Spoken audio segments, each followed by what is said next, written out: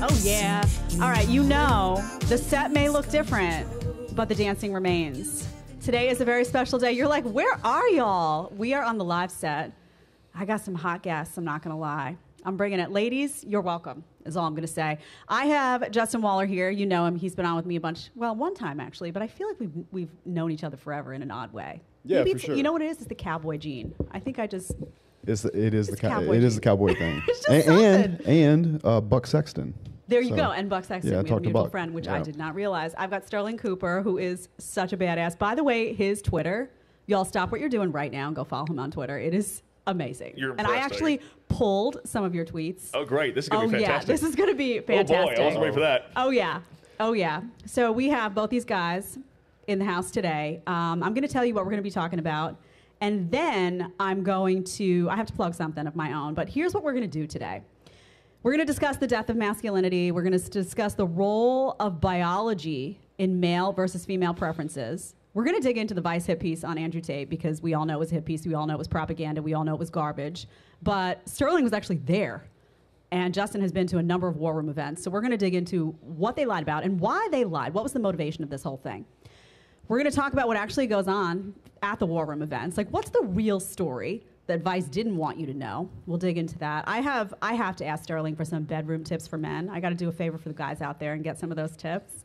Well, also, obviously, I got to dig into a little of your background too, and, and figure out how it fits I'm an into open the book. whole red. I'm, I'm a little confused about a couple things, but you're going to help me out. Fine We're going to me. get there. I love that we're going to do this. Actually. Yes, we are. And we also have you a bit too social much. media content for you both to react to. I've got some social media content that digs into the topic one, which I want to talk about, which is the increasing number of feminized men and masculinized women and why that's deeply a problem. So there are some funny tweets that we're going to show. Everyone at home, um, I know you know Minnect. Um, I plugged that a bunch of times, but I also have another space. It's locals. It's bila.locals.com. Locals is uh, under the umbrella of Rumble. I know some of y'all love Rumble. We're over on Rumble as well. But this is a page where you can support me. You can become a free supporter. Come on over, get some free extra content. I do some behind the scenes stuff related to this show, not related to this show. Stuff at home, need to vent, stuff related to health and wellness, related to family, whatever it may be. Or you can become a supporter. You can spend as little as five bucks a month, whatever you want to do. That is a space that I have so that I can guarantee you that this free speech movement carries on and that I bring you the very best of what I can every minute of every day. And there's also some side projects I'm thinking about doing, so that helps to fund all of that stuff. If you're already on the page, awesome. If you're not, just go over, check it out. You don't like it, that's cool. You love it, stay and party. It's feisty, is all I'm gonna say. All right, guys, I'm back to you now. So, Justin's channel, in case you didn't know, of course you know, Jay Waller, Gentleman's Guide to Become an Abundant Man. I like that word abundant that you used, by the way. I like it. It's like fruit, it sounds important- fruitful. It's got to be that way. So let me ask you, and then we have Stirling's page, which says it says world's number one sex coach for men, which I love, which I'm sure you got a lot of tips. True. You have a lot of experience in the area, true. I'm told. So I'm sure you're gonna have a lot to offer. So I want to start with this. I want to start with a topic that's near and dear to my heart. People ask me why I do this and why I talk so many so much about men's issues, and I have a three-year-old son, and I know you know that, but it's deeply concerning to me that he's growing up in a world where men are repeatedly and consistently, you know, told they're the bad guys, their masculinity is toxic. I don't want that world for him. I'm going to fight to make sure that that world changes. Or I'm going to surround him with a bunch of badasses like you guys so that he grows up with a good head on his shoulders and turns into a warrior. Why do you think, I ask, there are increasingly a number of, you look around and you see feminized guys completely i mean I, I the grocery as an example i went to the grocery store the other day and i see a couple walk in very clear that they're married the guy has the energy of a little boy okay? He's walking behind his wife. He i'm not talking about like no lines in his face you knew he was an adult male but he had the energy of a small child. And he's walking behind a woman who had the energy of a boss babe. And she was just you could tell right off the bat running the show this that and the other thing. Why is that happening? I want to get to the why and then i want to get to the how do we fix it. Stirling i'm going to start with you. Why do you think that's the case? Because we live in a world with inverted values now. explain. Well, we encourage masculinity in women and we encourage femininity in men, right? Up is down, down is up. We encourage people to be victims. We encourage virtue signaling. and I say we as in not us individually, but the society we currently live in is pushing these inverted values. We used to push, we used to build statues of people who did glorious things. Mm-hmm. Now you get, you know, paraded around the news for being a victim and celebrated for being a victim. So that's an inversion of values. It's an inversion of the traditional values that built the Western world. Mm-hmm. So that's that is the base root of all of this, is flipping things on its head, and we can get to how to fix it. I think a large part of what we try to do is try to fix that, but mm-hmm. this has been going on for. You know, this hasn't happened in like the last four years. This has been a slow progression over the last like 30, 40, 50 years. decades now. Justin, why do you think guys, why do guys go along with it though? It always bothers me that guys, I think that's, I think you're 100% right. I agree completely with what you just said, Stirling. But why, why don't you see pushback from men? Like, are they so programmed? Have they been so weakened that their natural instincts to say, hold up, is that dead too? Because that's scary. I personally think it's a mating strategy. If, if you say that 10% of men sleep with 95% of the women, then what is the what is that got to do to act like he's on their side in that way? But the problem is, is that over time, that she's going to lose respect for him. My question is, why is he in the fucking grocery store in the first place? So wait a second. You think it's a before we get to the grocery store. You think it's a mating strategy that those guys think they're going to appeal to women Absolutely, 100%. By becoming- 100%. Use monogamy. they, like- Use monogamy.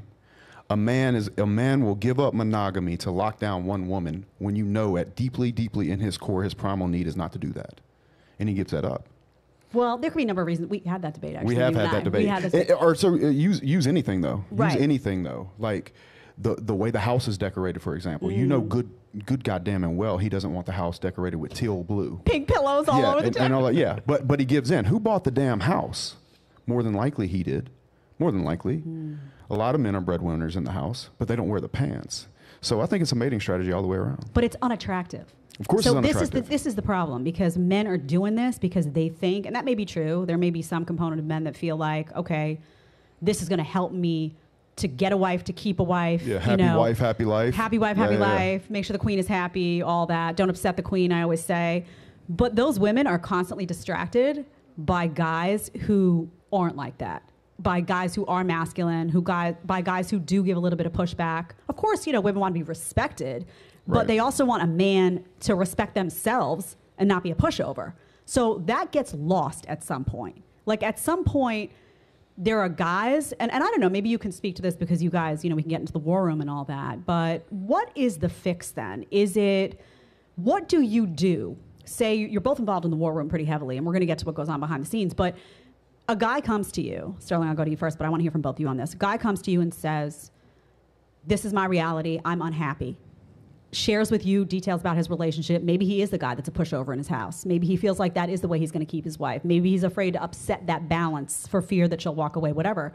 How do you kind of get that guy to shake him, re- reignite his masculinity, and get him on the right path to his own happiness, which he's going to need in order to create a happy dynamic in his house? I don't think he's going to have, have a happy dynamic in his house unless he has any kind of abundance in his life.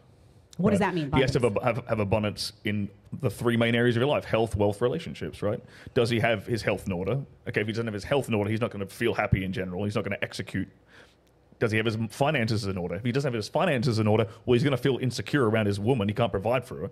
Does he have abundance in relationships? If he doesn't have a brotherhood, as in other men he can go to for mm-hmm. advice, for, for, for camaraderie, and if he relies on his woman as his sole source of companionship, then he's in deep shit. Mm-hmm. That's well, that's why we talk about having brotherhood and the importance of brotherhood. Is because mm-hmm.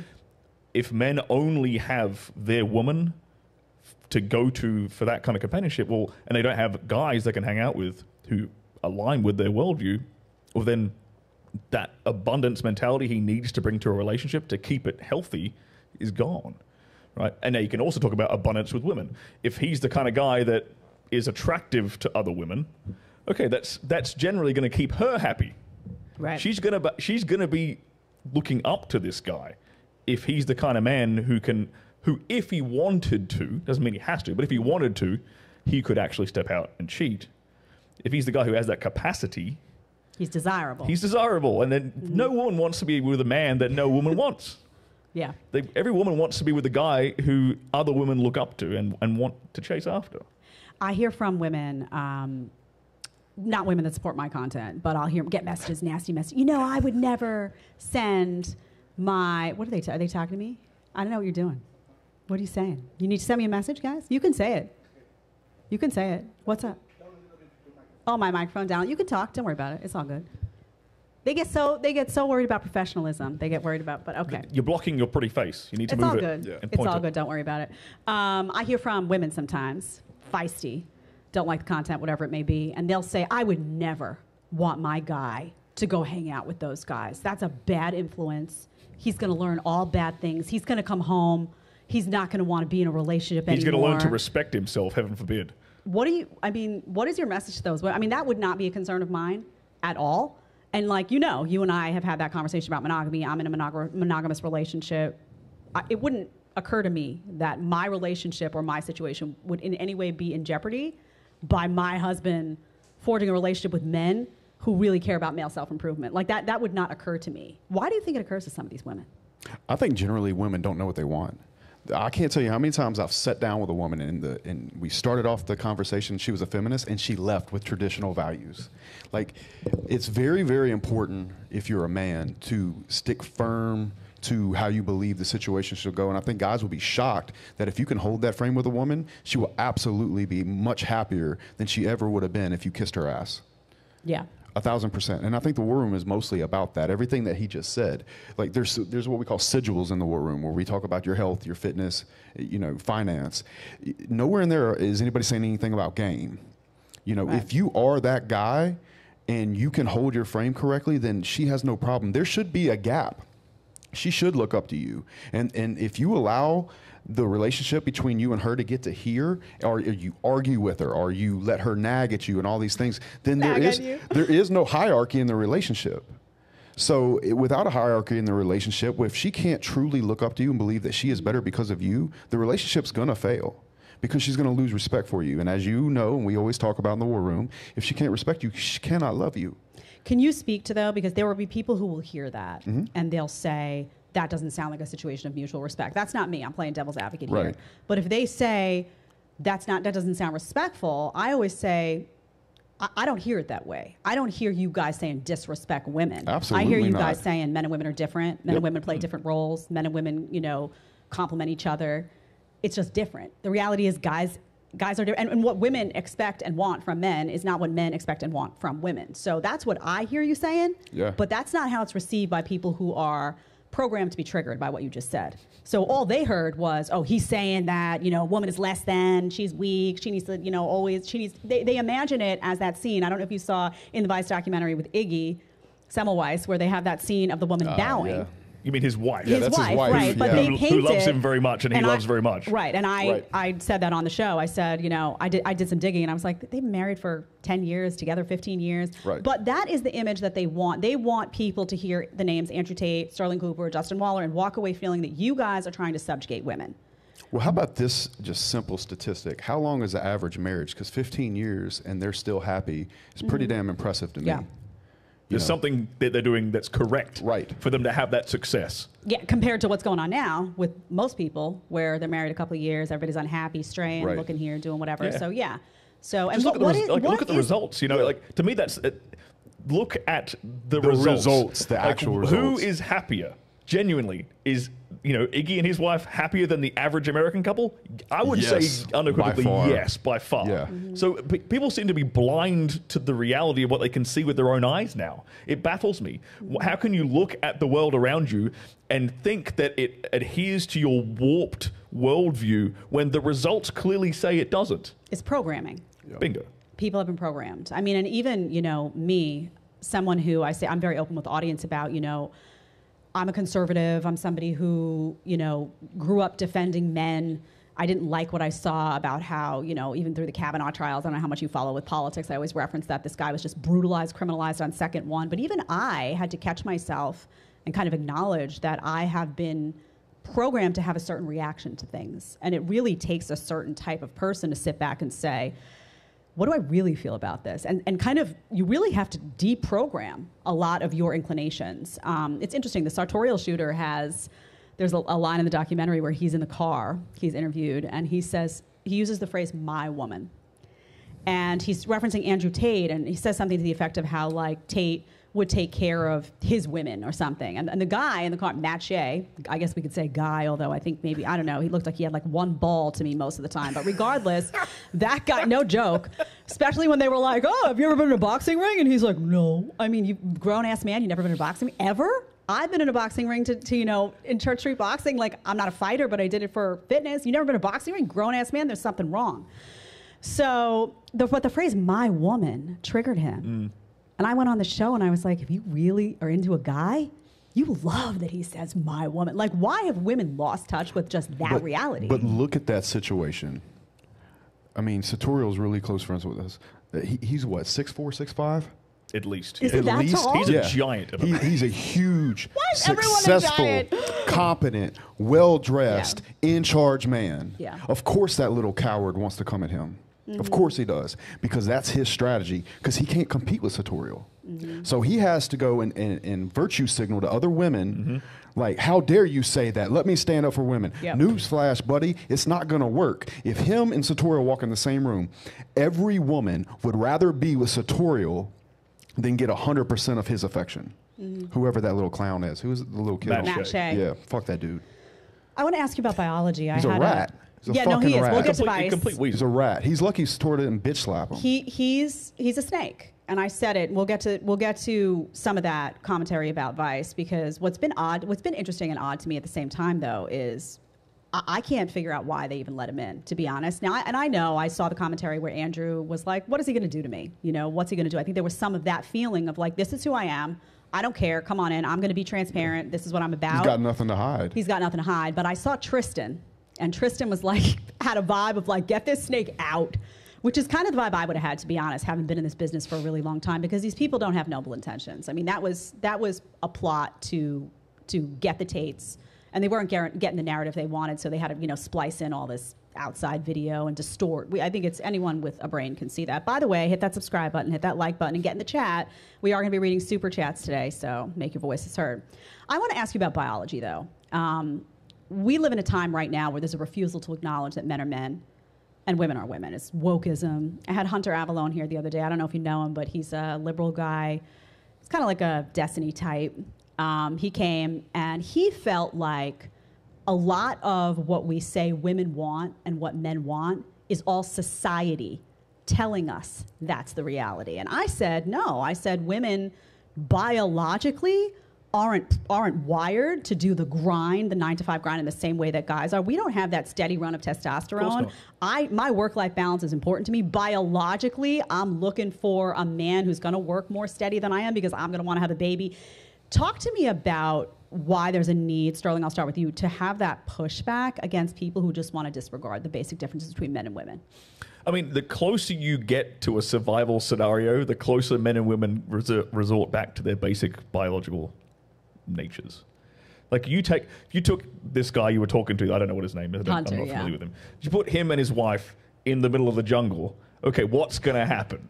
He he probably won't be able to do this, but the gender, the normal natural gender roles is going to. She's going to like you know maybe gather some berries, look after the campsite. He's going to go out and try and find a deer or whatever, hunt it, kill it, bring it back. Like to me, it's it's it's staggering. Like people can say, oh, these these gender roles are like societally based. No, like. The, before we had societies, this is how we were functioning. You can look at hunter gatherer tribes that still exist all over the world, and they're still in these classical gender roles. We survived eons like this. And it's only in the last 20, 30 years of insanity that we think we're somehow better and smarter. This is the arrogance I can't stand. That we think we're somehow smarter than our ancestors who survived and reproduced for thousands of years in much harsher conditions than we live now. But no, no, no, no. We are somehow smarter than them because we've invented the fucking iPhone. Sorry if I can't swear on your, your You show. can. It's all good. You can. What then? What do you think is? Feel free to swear. You know, speak your minds. I don't. This is a censorship-free zone. Um, so, what do you think the motivation is, though, Justin? Because to me, it seems deeply sinister that society. I, I think society is now I think the feminization of men, the masculinization of women, and all the marketing you see coming down in media to support that is because they want to break the ties that bind between men and women. They want less people to Absolutely. form those unions. Well, there's more tax money for it. Mm-hmm. Like it used to be, you would get taxes from one, one individual. If you break us up, I think there's more people paying taxes. Number one, and no, back That's to interesting. I hadn't thought about that angle of it. yeah, Just the but ab- simplicity of that. Think about Mhm. that. Think about that. And then as far as the entitlement, women unfortunately sometimes forget that men invent, build, and maintain society in every way. So we're not that far away from what we were doing 200 years ago. It's just the people that actually do the work don't get credit. Like, n- name, look, I have 170 guys working for me. There's no woman in the field. There's no woman applying to work in the field. There's They don't no- want the job. They don't want. They don't want that, and that's mm. completely okay because they're soft, they're nurturing, they're feminine. I'm not saying men and women are equal. In fact, I love women. Let me be the first to tell you that I love women, and I do think that we're equal. But I do think that we are substantially different. And asking a woman to turn in the man to, to turn into the man that she wants to be with is a formula for her to be very, very unhappy. And I find that those women that when you walk in a room with them and you are firm and you are the man and you are a gentleman and you are leading, those are the women that fall the hardest mm-hmm. because they can finally let go of that burden that they never wanted in the first place. Absolutely. It's interesting. You use the word soft, and I'm always like my antennas are always up for what the trigger words are going to be. That is a trigger word that women, Soft? women, modern women will hear the word soft, and they will take offense to that I don't because want they a have woman been that's taught. not soft. But they've been one. taught that soft is weak and they're supposed to be hard, and that they've somehow read that as an insult. As when what they should be saying is that the softness that a woman has is a beautiful thing. It's an irreplaceable thing. Absolutely, it's the most wonderful thing in the world. I said this on the other day on Twitter about about women that have babies. It, that's the Oh, most. yes. I that's saw the too. most beautiful, amazing sign of strength a woman could ever show to have a mm-hmm. child and to raise that child, even after the birth. It's an incredibly difficult task to wake up every hour of the night. You go months and months and months without sleep, and the baby won't stop crying, and it's on it. and on and on and on and on. And I'll tell you right now, as a man, I don't want that heat. I would be a horrible mother. Horrible. You know what I'm saying? You're not supposed to be a mom. You know, I don't have that strength, and that's the point that I'm trying to make. And and and they want to go out and act like they want to be men, but they really don't want to be men, just as much as I do not want to be a mother. Mm-hmm. I think it's kind of it's sad to me that that we've had at least two generations of women who've been brainwashed that being a mother is somehow not as glorious as having a career. You're literally a wizard. You can create life from nothing. How- uh, that is a superpower, and how are you not insanely proud and and like, how does that not give you tremendous self-esteem to be able to produce a living human being? I don't understand how that is is less glorified than than being like a lawyer or, or an engineer or in the IT field. To me, that's insane.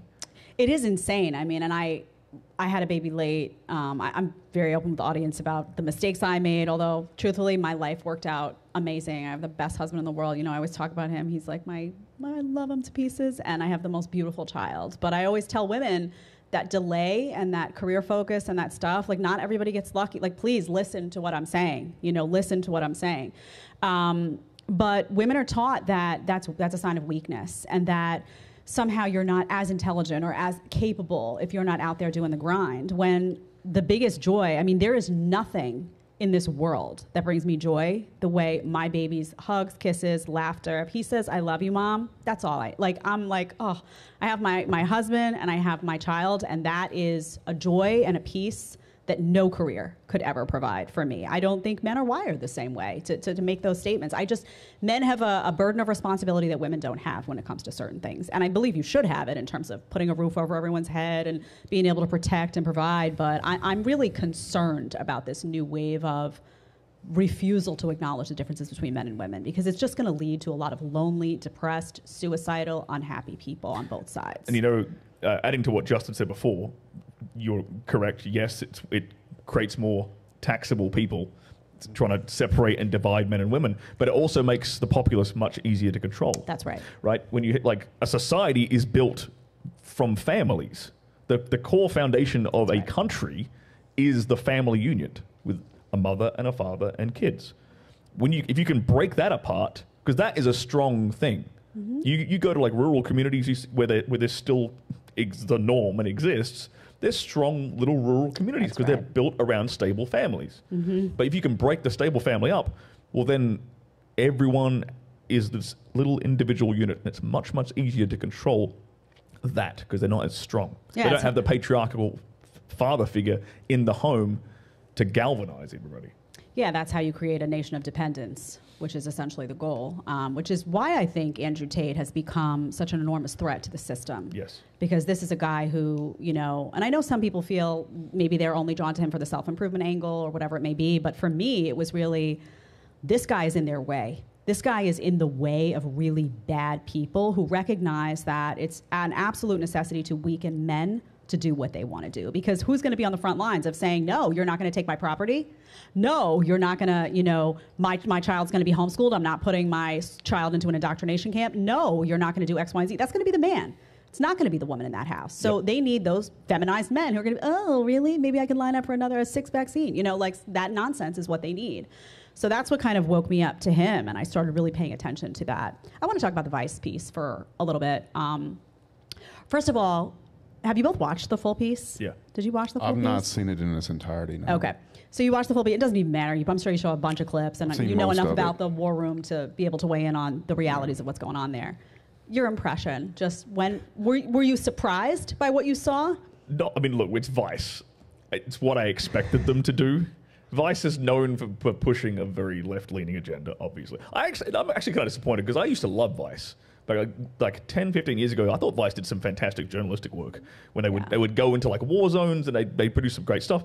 Now it's just a pile of trash. I'm like with a with a very clear agenda, very clearly cut up and spliced. And sitting down and watching the whole thing, I I, I just couldn't help but laugh. You were there, most though. of it, and I was at the You event. So, do you know what occurred to me? What I would have done? I told the audience this. I would have taped the taping. You know, I would have. I tell people, and you, you guys should know this too, because there's going to be opportunities you're going to get. People are going to want to come. Oh, let me take a look at what Justin Waller is doing. But you know what I do? I would say, I'll hire somebody to tape the taping, so that when they come out with their agenda, you can then say, "Oh, really, Matt? You were having an awfully good time with us." Hanging out the whole time, and now you're putting this piece out. I was surprised that they didn't do that. Can you just tell me because you were there, and then Justin, I want to get to you on the war room because I know you talk a lot about guys and why they should get in there. I want to talk to you about the truth about what goes on at these events and all that. But can you just tell me what what was really going on that day that, that didn't come forth in the documentary? Well, Matt had a fantastic life changing experience. He even got up and said that in front of everybody at the event. That, Comple- that didn't make com- it to the documentary. Completely cut that out of the documentary. Shocking. Everybody who went for the event had their life changed in a positive way. Everyone got up saying this. And then they sat Andrew, like, overall, and you can, and Sartorial has said this. We did, me and Sartorial did a, uh, a Twitter Spaces a few days I ago talking about this. Um, overwhelmingly positive experience Mm-hmm. had by Matt and his film crew as well, who also, by the way, asked Sartorial if they could dr- go in his, his uh, Ferrari. It wasn't Sartorial's idea to go in a Ferrari. It was them pushing Sartorial to get a drive in his Ferrari. Unsurprising. Not surprising. So that then they could paint him as a guy who only cares about cars. Exactly. Anyway, that's that's a tiny little detail that Yeah. I found funny. But then they sat Andrew down for three hours at the end of the event and just tried to grill him and grill him and grill him. And even Sartorial said this. He said we should have filmed that that entire three three hour piece because out of three hours they maybe used about thirty seconds to a minute total because Andrew is such he's so professional in the way he answers questions and the way he uses language. And in three hours, they couldn't find anything bad to use on him. Mm-hmm. They couldn't trap him for three hours of sitting there and, gr- and, and grilling him. And this tells you why they only just released this piece too, because this was filmed, I think, back in like Months ago. September or something. Like like six that. it's been a long time. And they were supposed to release it within like three or four weeks. That was the expectation, and everyone knew. Okay, they're probably going to make it look, make try to try to make Andrew look bad. They couldn't. They had all the footage they had. They couldn't find a way to make him look bad until several months later. He gets detained by the police.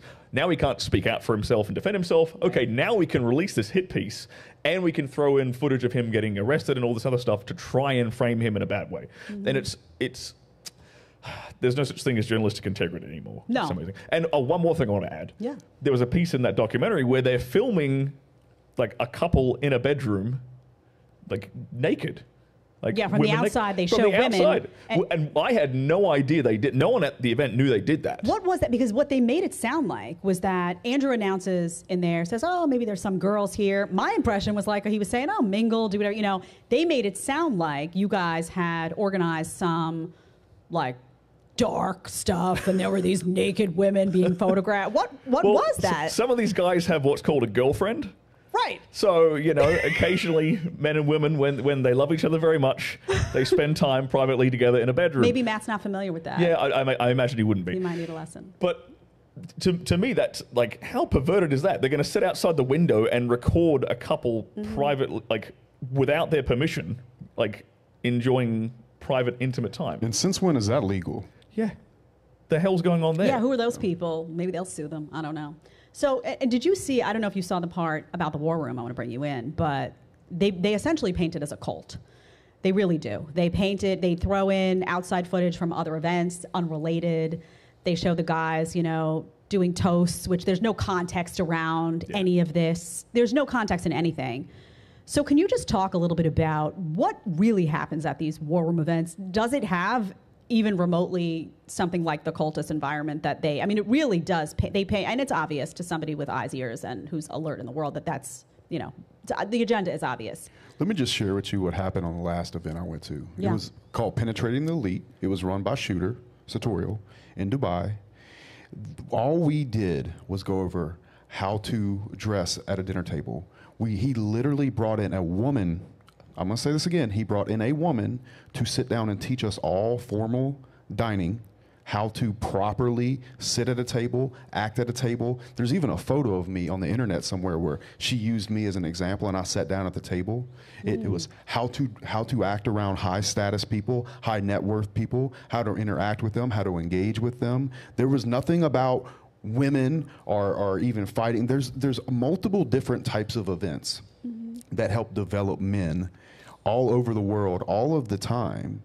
And it's my deep, deep mission on my channel and to push people in the war room because I feel like the more strong men that are in this world, the happier women will be. I And always safer, say, frankly, and the yes, safer women will I be. always say you build strong men for women, not in spite of them. Yep. Mm-hmm.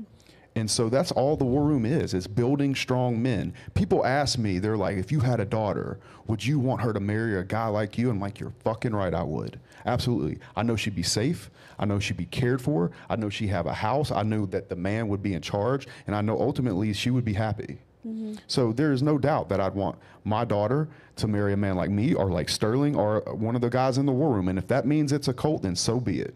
It's interesting too, even the component you're saying, you know, all the events aren't necessarily about fighting. This particular one they showcased was a cage fight.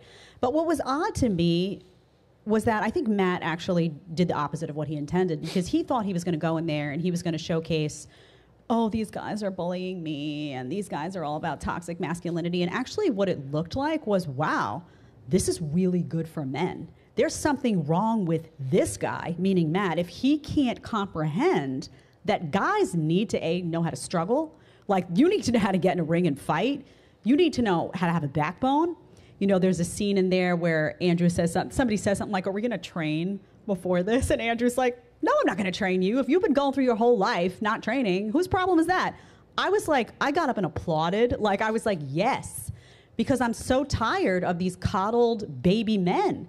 And Matt was kind of showcasing himself as what's wrong with men today to me. All I saw was this guy who was sitting in a safe space around a bunch of men who knew how to do what it meant to be a man.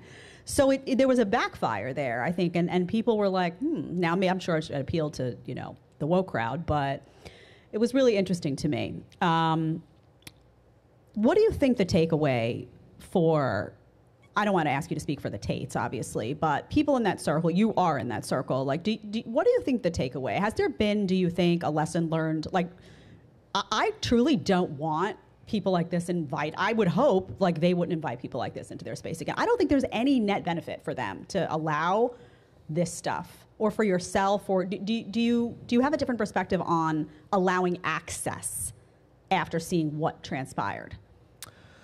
I mean, there's no such thing as bad publicity, really, especially when you're Andrew.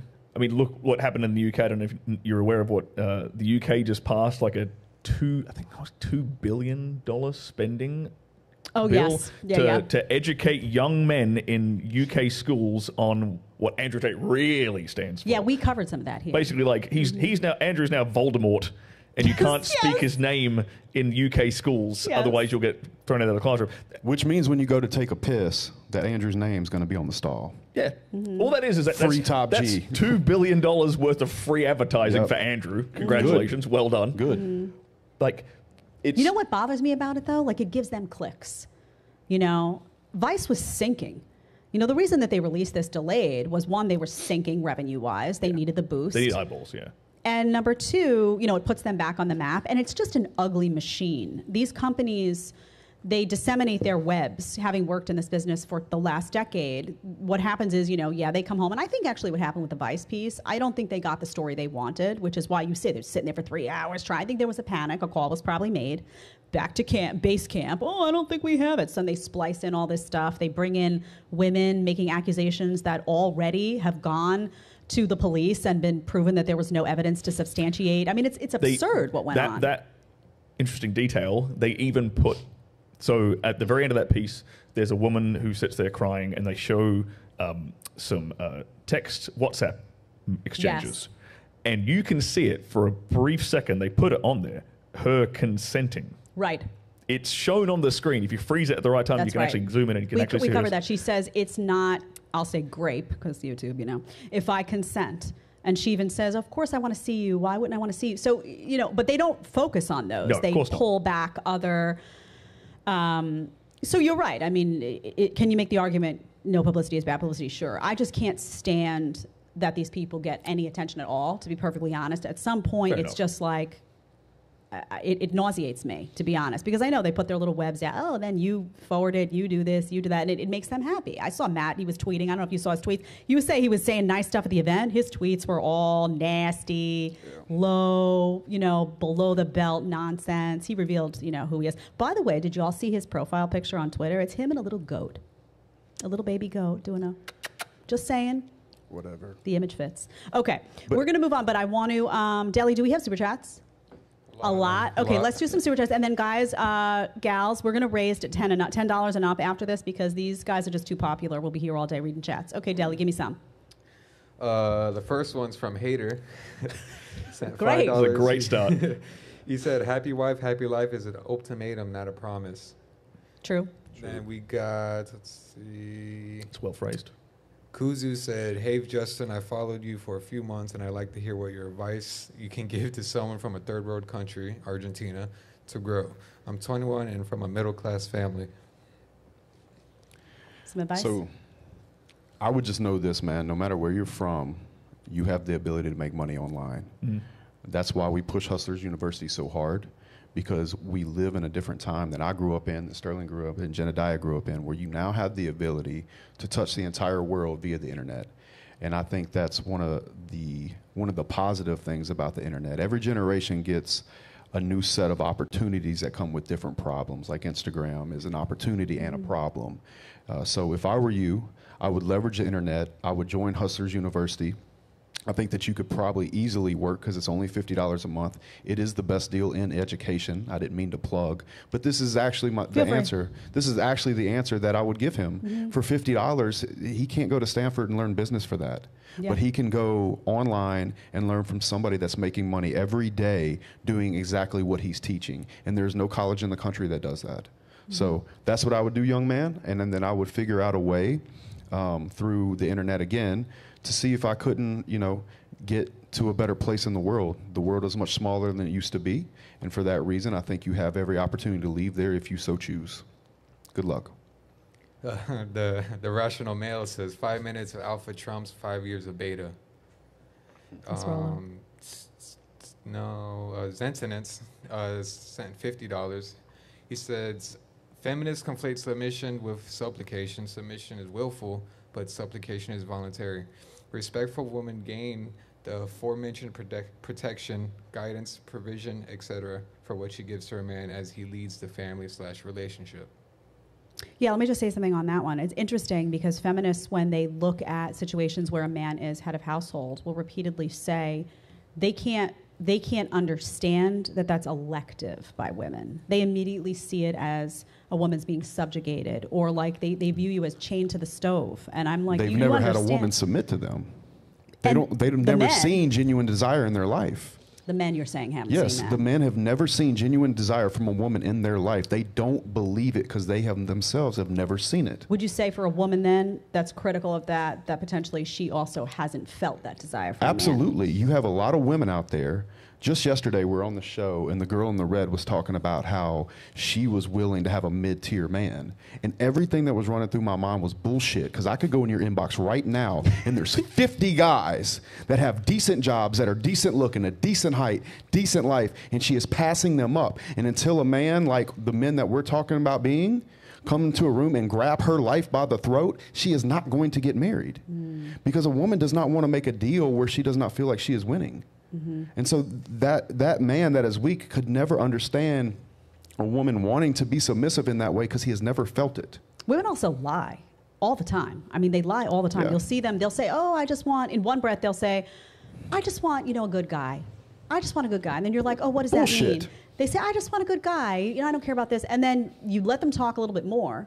And they lose sight of like that talking point they're supposed to say, and then suddenly it's well, he's got to make 100k a year, he's got to be six feet, He's got to be above this. Average like in every, aspect I can one girl, name. no joke, was on a panel. We covered it the other day because we were getting into the kink component, the potential kink component that might have been in the exchanges between Andrew and you know they were trying to paint it like it was great, but we were like, is this kink? Could this just be kink? And there was a woman who was like, I need to be strangled.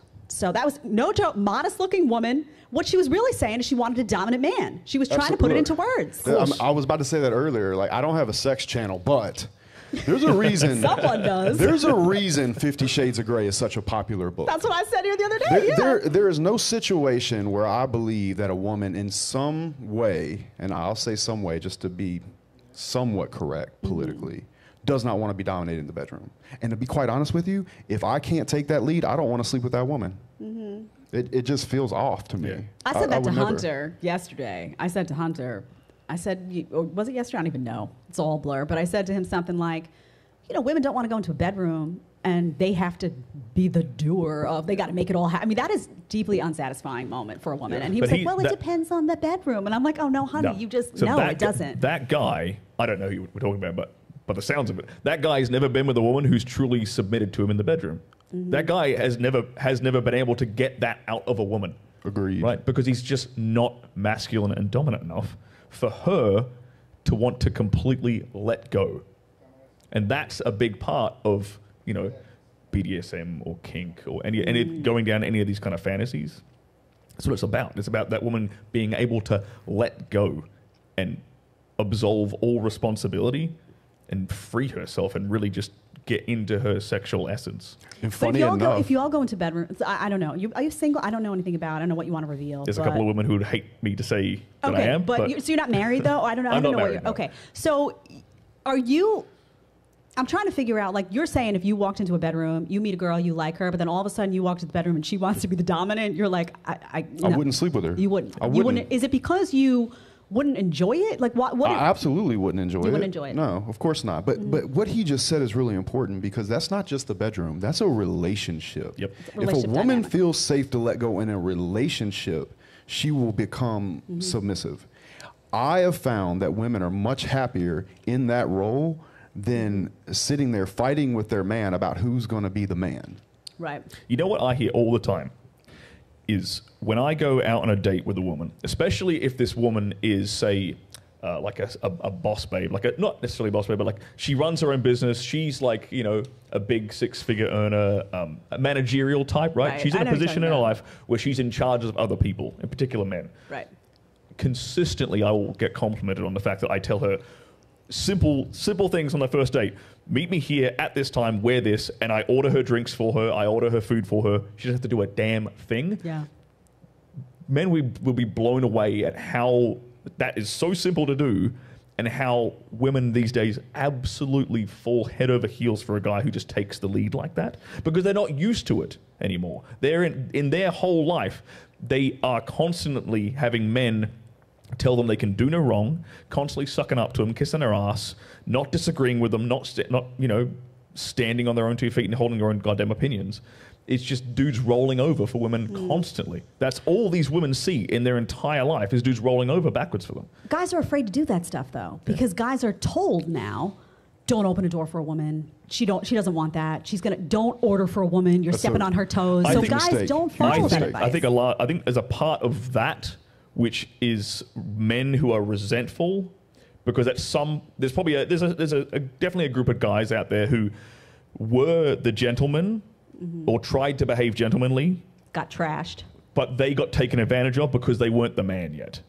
Okay. Right? They were just the foodie call. Right? So they did it, but they didn't do it right, and now well, they, they did it, but they weren't the guy that demand, that that deserved the respect Okay. yet. So right? So they, they acted like a gentleman, and they did all those things that they were told to do, Right. and then they got passed over for like the, the Chad in the background, The Chad, yeah. who she just went off and slept with immediately, right? Mm-hmm. And so they get resentful about that, and so they think, oh, I will, I will never do this for a woman ever again, ever, because I got used. In this, it. these particular circumstances, but what the reality is, well, that guy needs. You can totally be the gentleman. We're, we're, I would like to think that you'll be a very Ah, gentleman, bro, right? absolutely. But I will you not have let to a girl be that man door. first. You have to be the guy that Yeah. Uh, demands that, not demands, but have to guy that, that earns that respect from her in the first place. Respect is the foundation. It has to come from there 1st You can't, otherwise, it, you're, you're trying to coerce behaviors out of a woman that she doesn't even want to do. It's obliga- obligatory.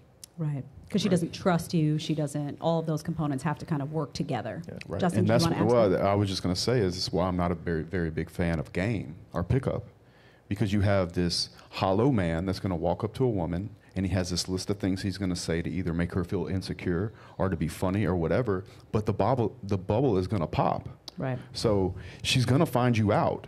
So you have to be that man already. And if you walk up to her and you're confident and you're confident when you tell her, do not open a door around me and you are never going to pay for a dinner, then you're going to get played. Mm-hmm. You know, you can't talk your way out of doing that work. And she knows it because you can't talk with conviction. You can't act with conviction. You can't look her in the eyes and tell her what you really think. And for that reason, she will never respect you. So you're going to have a problem. I can't tell you how many women when I was I didn't date that much truthfully, but I remember being in my 20s and I can't tell you how many stories I would hear. I, grew, I was in New York City of women telling me like my friends, he didn't even walk me home. I walked home, you know, 16 blocks myself at two o'clock in the morning, and no one even checked to make sure. I, I'm like, girlfriend, what are you doing? You know, it's it's there's there's so much of that going on too, where there's this deficit of guys, either because they're afraid to act like men, they've been told not to, or because they don't know how to, they don't have the proper guidance, maybe they don't have the proper guys around them. I think also there's a good conversation to be had about fatherless homes and what's going on in homes where there's no male figure that's teaching you from a young age like this is how you need to treat you know women this is how you need to behave i want to get a couple more questions for the chat and then i want to go to a tweet from justin you. Um, dating secrets said shout out to Justin and Stirling. These guys are on the spot talking points for young men, young men and even women. Dialing in need to hear. Keep the fire going on the torch. At Jedediah, you go. Um, Purple Pill Pod said these two men will carry the torch well if they have if they have to. Prayers to Top G and Tristan. Then um, we got Zenton hundred dollars. The egregious de- deviation from traditionalism is nothing more than the youth given the illusion of power while allowing influence of society when they lack the mental fortitude. Life experience to have a more meaningful understanding of the world. Kids with toy analogy. Um, Jay Waller, before listening to your content, most of the men were invisible to me. How naive I was not to know that men maintain all the infrastructures around the world. Uh, shout out to Waller and Stirling. Thanks for the everything you do for young men. Uh, and Joshua said, for the best example of Vice manipulating narratives, search the Jordan Peterson interview from 2018, where after they originally aired the version, they came out with an unedited version. Have not done that since then. I don't know if you all saw, I did a breakdown of the Vice feminism panel that was just Pearly was on. Oh, it was ridiculous. They edited out a bunch of stuff, all this. They also did a panel on masculinity I'm going to be breaking down next week. And one of the people that was asked about masculinity was a man in a dress. Just going to leave it at that. Okay, so um, let's go to. I guarantee I know what he every talking point. he was all come now. I mean, and he's just weighing in. Okay, it is what it is. All right, Jay Waller, I want to get to this tweet. Um, Deli, can you bring this tweet up from Justin about questions? Starts with questions, my life and friendship with Andrew. You see that one? Yep. Okay. So, a woman challenges you and Oh, says, you, you must have given some advice, right? And the woman says, Aren't you good friends with Andrew Tate? Do you think you're in a position to be given life lessons? And you say, Questions my life and friendship with Andrew while she competes against 22 year olds to get on boats in Miami. Sad existence. And below that, you see you saying, you look, you look to be middle aged, single woman without children or family. Is there a big a failure as a woman? I think not. Free the Tates. Talk to me about this. This was, this was, you got a little tough, but talk to me about where you were coming from with this because I, I actually think there's two really important points to be made here to women that need to be heard. But you tell me what you, where, where you were coming at with this. Yeah, so I mean, she caught me at the right time. I was on a plane. I look down and I see this, and so I click on her profile. She followed me. Um, I'm pretty sure she had liked some of my photos. I didn't see them for whatever reason.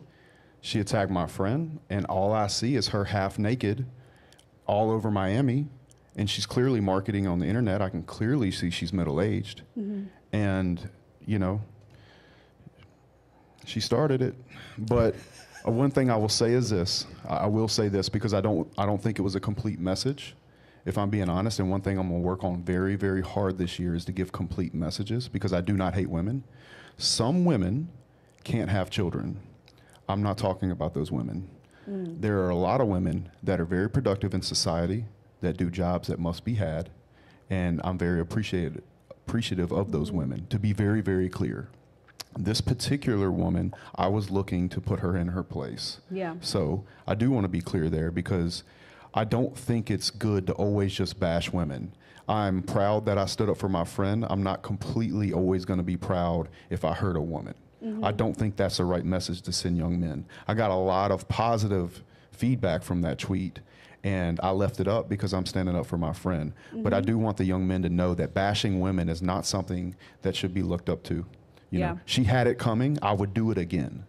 But uh, in regards to bashing women, it's not something I support. Well, to be fair, she came at you. She was She saying did. you, She you gave some advice, and she made it like you weren't, you didn't have sound enough character to Right. be given the advice because you were friends with Andrew Tate. So to be fair, she came at you. But to be honest with you, I think that listen, if you're not sensitive and you don't have that knee-jerk reaction, what I took from it were two points.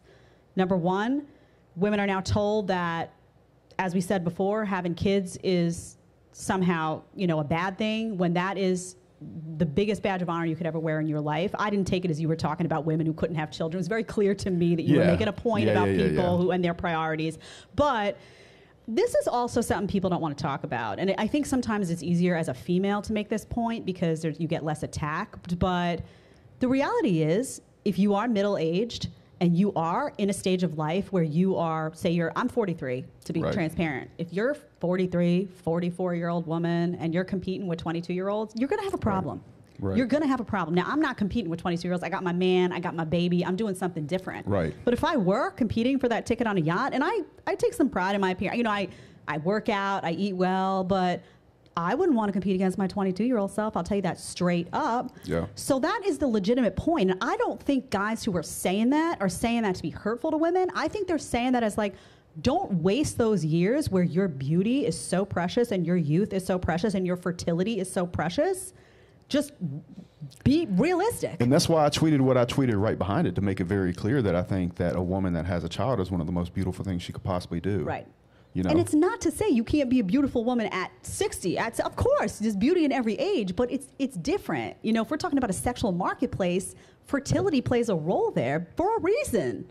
Guys are looking to have Yeah. families. They're looking to have babies. You're looking at a 25 year old. There's much more likelihood that all of that can come to fruition than you're looking at a 45 year old. Maybe that 45 year old is also stunning in her own way, but it's different.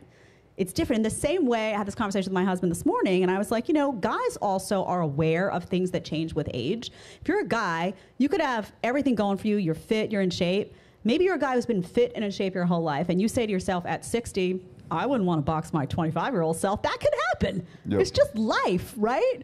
You know, so it's just a, it- for some reason, you can tell men, you can be straight with men, can't be straight with women. Yeah, I, I crushed her. It hurt her. She blocked me immediately. She blocked you after yeah, liking she cut your off. photos she cut off to the comments. boot? Man, oh, yeah, Oh, she was mad, man.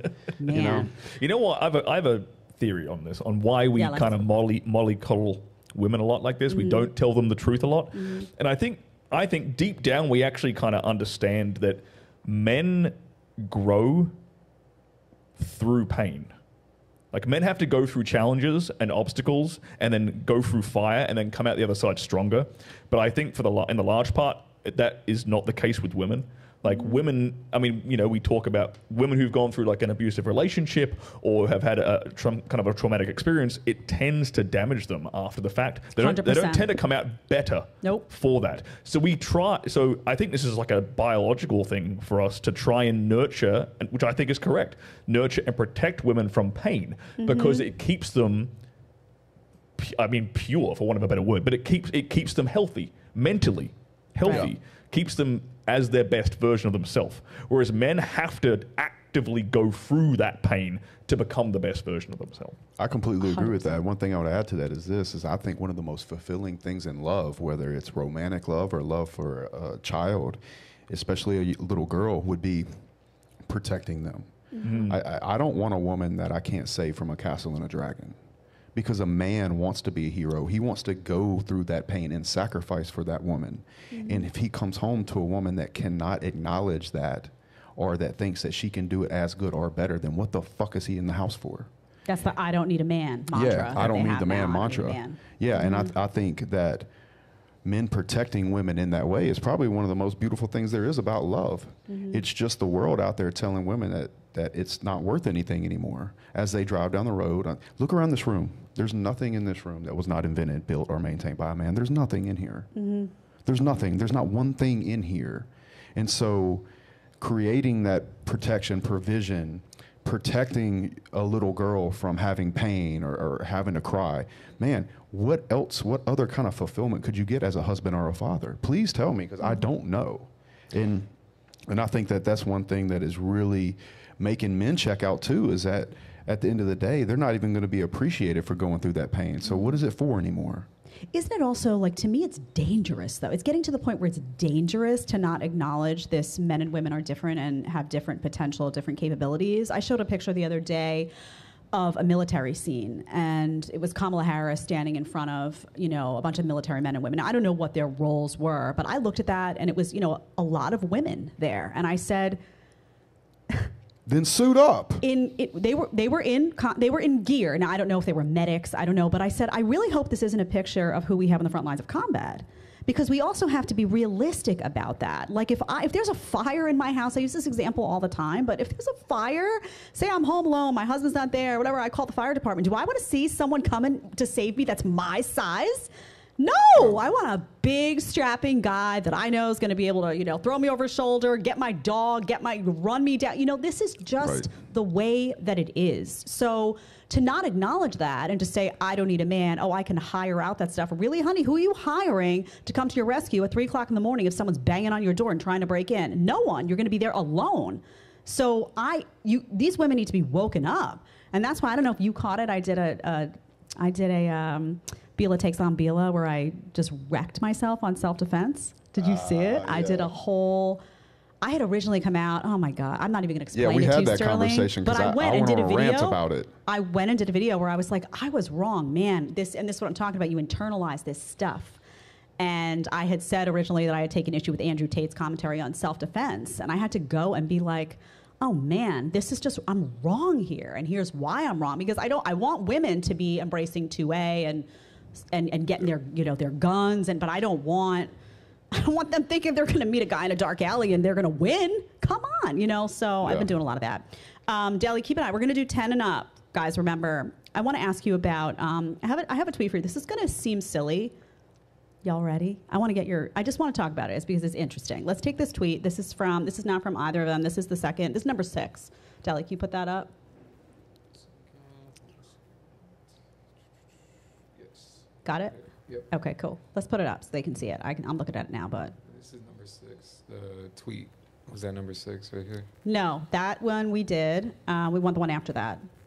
We want twitter.com Jamacool. You see it?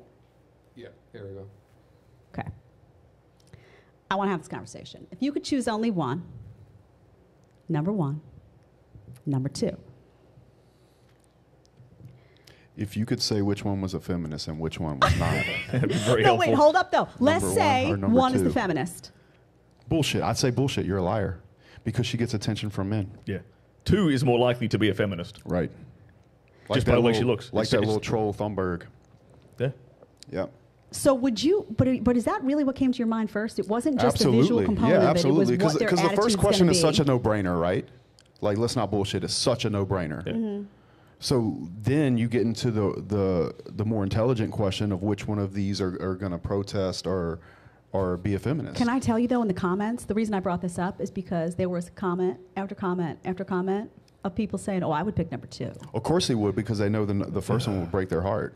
Yeah, number one ain't picking them. That's they for damn can't, sure. They can't, Right, she's gonna- can't drive that Ferrari. She's gonna have a side piece. Is that what Yeah. they're worried about? She's gonna Yeah. have someone slide I into will. her s- DMs. I will oh, say. Oh no! Well, the average man hates that woman because that woman has mm-hmm. never given him attention ever in his life. He has tried. Right. Where do you place though? Because I, I m- my experience with women is that there are some beautiful women that are just terrible people, profoundly. T- they treat men like garbage. So, and, and what I could, what I get concerned with is sometimes I, and not all, of course, are beautiful women who treat men w- wonderfully. But I'm just saying what I see is sometimes with guys is beautiful women are like, it's like they're hypnotized by them, right? Like a beautiful woman will get away with the most horrific behavior, and guys keep coming back, keep coming back, keep coming. Is that does that go into some of the conversations you have with men where you're like, don't be hypnotized by a pretty face. It's a, woman's got to be more than just a pretty face, as far as I'm concerned. Two things on that. Number one, that's why abundance, the word abundance, is so important because they have a thing called one-itis, right? And so if this is your only shot at a woman that beautiful, then One-itis, you yeah, then you're very likely to choke, right? 'Kay. Because she's your only shot at that kind of beauty. Mm. And then number two, I love to say that pretty ain't a pass. And I mean that. I, mm. I tell women, especially beautiful women, pretty ain't a pass. And they always laugh and they know exactly what I'm talking about. Yeah. Just because you're beautiful, you will not get away with bullshit with me. And for that reason, she has to respect me on a whole nother level because she is f- experiencing it a lot of times for the first time.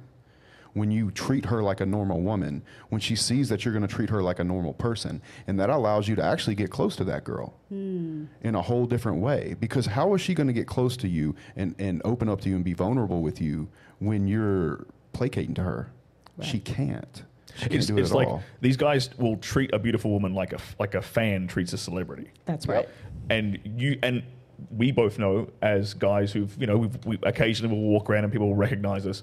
And because you have your personality out on the internet right they think they know you Right. as a person but they really just know what you put out online which is fine. But that is a very similar experience that the average beautiful woman lives with where guys come up to her and they treat her like a like a celebrity they don't treat her like a human being. Mm-hmm. In my experience every gorgeous woman is extremely nice and friendly and lovely. But in in, in these guys experience because they're coming up and treating her like a fan in their it. experience oh she's rude. Oh she she's disrespectful. She didn't give me the time of day. Well yeah because you, were, you you weren't treating her like a goddamn human being to start with because human mm-hmm. beings are flawed. And like you said, pretty ain't a pass because pe- everyone has flaws. So you don't get an immediate like green light just because you were blessed with genetics. You, what is going to keep me around?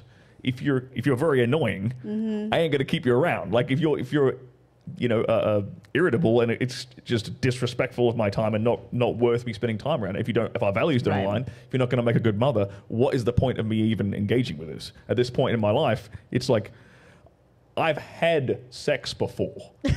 like that's it's not this wondrous magical Right. thing like it was when I was a teenager. Right. You know, it's, it doesn't have that pizzazz anymore mm-hmm. that that would make me make that would make me ignore red flags. Mm-hmm. Yeah, that's exactly right. I tell you, that's one thing that we teach from time to time is like, listen, you if you're in a relationship with a woman and she does something that you're not you're not okay with or is not in line of the framework, and she tries to sleep with you, roll over on her and go to sleep. Take that power away from That's her. That's brutal, by the way. It is, That and is it, but it should be because mm-hmm. she's using that to try to get back in favor with you, and you should never be so weak that you fall to sleeping with a woman in order to and, and let that frame get out of hand. I will roll over on your ass. Good night. Now it's very it's very very easy. Good night. It's very easy for us to sit here and say this, right? Yeah, yeah. the average guy, the reason he would get one-itis is because in like the average dude in six months, he maybe has one woman who's slightly interested in him. Right. Right. It's in not six any months, swipes. and he might he not might not getting- even have yeah. a chance with her. He might ruin blow his chances with her. So that's why we we try to tell guys you have to act in abundance and it helps to actually be in abundance. It makes it a lot easier to be if you mm-hmm. actually have abundance to to act accordingly. But if you act like the kind of guy well, will adopt these behaviors and these attitudes towards life where sex isn't the be all and end all of everything, mm-hmm. then you're going to start getting far better outcomes in your dating life. Mm-hmm. And that's by becoming that guy. That guy that doesn't get a swipe, hasn't built himself up. Mm-hmm. He hasn't built style. He hasn't built his body. He hasn't built class. He hasn't done done any of these things. Doesn't have a friend who's great with a camera. Right, right. And so let me let me let me put it. This is this is kind of this is kind of off the cuff, but I thought it would be funny to do. It just hit me a minute ago. I want you, Jedediah, to understand. Are you going to show me your DMs or something? Yes, I am. Yes, that's what I. I am. I want you to swipe down all the girls waiting for me to like them back. I'm going to do that. and this. tell me what these Y'all girls know I have access to something you want. Oh yeah. Oh wow. It's quite a plethora. it's quite a. It's quite a group. Those are not ugly women. They're not unattractive. I will. s- I can attest to the fact that going. most of them It'll very reload. attractive. It'll most of them are very. I mean, we'd need like a couple hours just to scroll through this list. I ain't playing, but um, yeah, most of these are what I would consider. Like I, I would say the eight and up crowd. So Eight that's pretty good. Eight and up crowd. And that's under 24. Yeah. So, and let me ask you this though, honest, que- honest question, because we talk a lot about you know the OnlyFans and all that, but is it a turnoff for you to see women ostentatious on the Instagram, half naked on the Instagram? Does that bug you, or does it depend on what you plan to do with her in your life? Yep. I'll put You, them in you a just bucket. answered the question yourself. Yep. You Does put, it though? You put Or them in do, a do guys really? Because Yeah. I said yesterday, I think guys tend to break women out into play and serious. Is that is that accurate? I'd say that's very accurate. I completely agree with that. Yeah. Okay, so if there's a woman that you connect, you take out on a date, you connect with, and you actually say to yourself at the end of that date, "Man, I could take this woman home to mom." Like you really like her.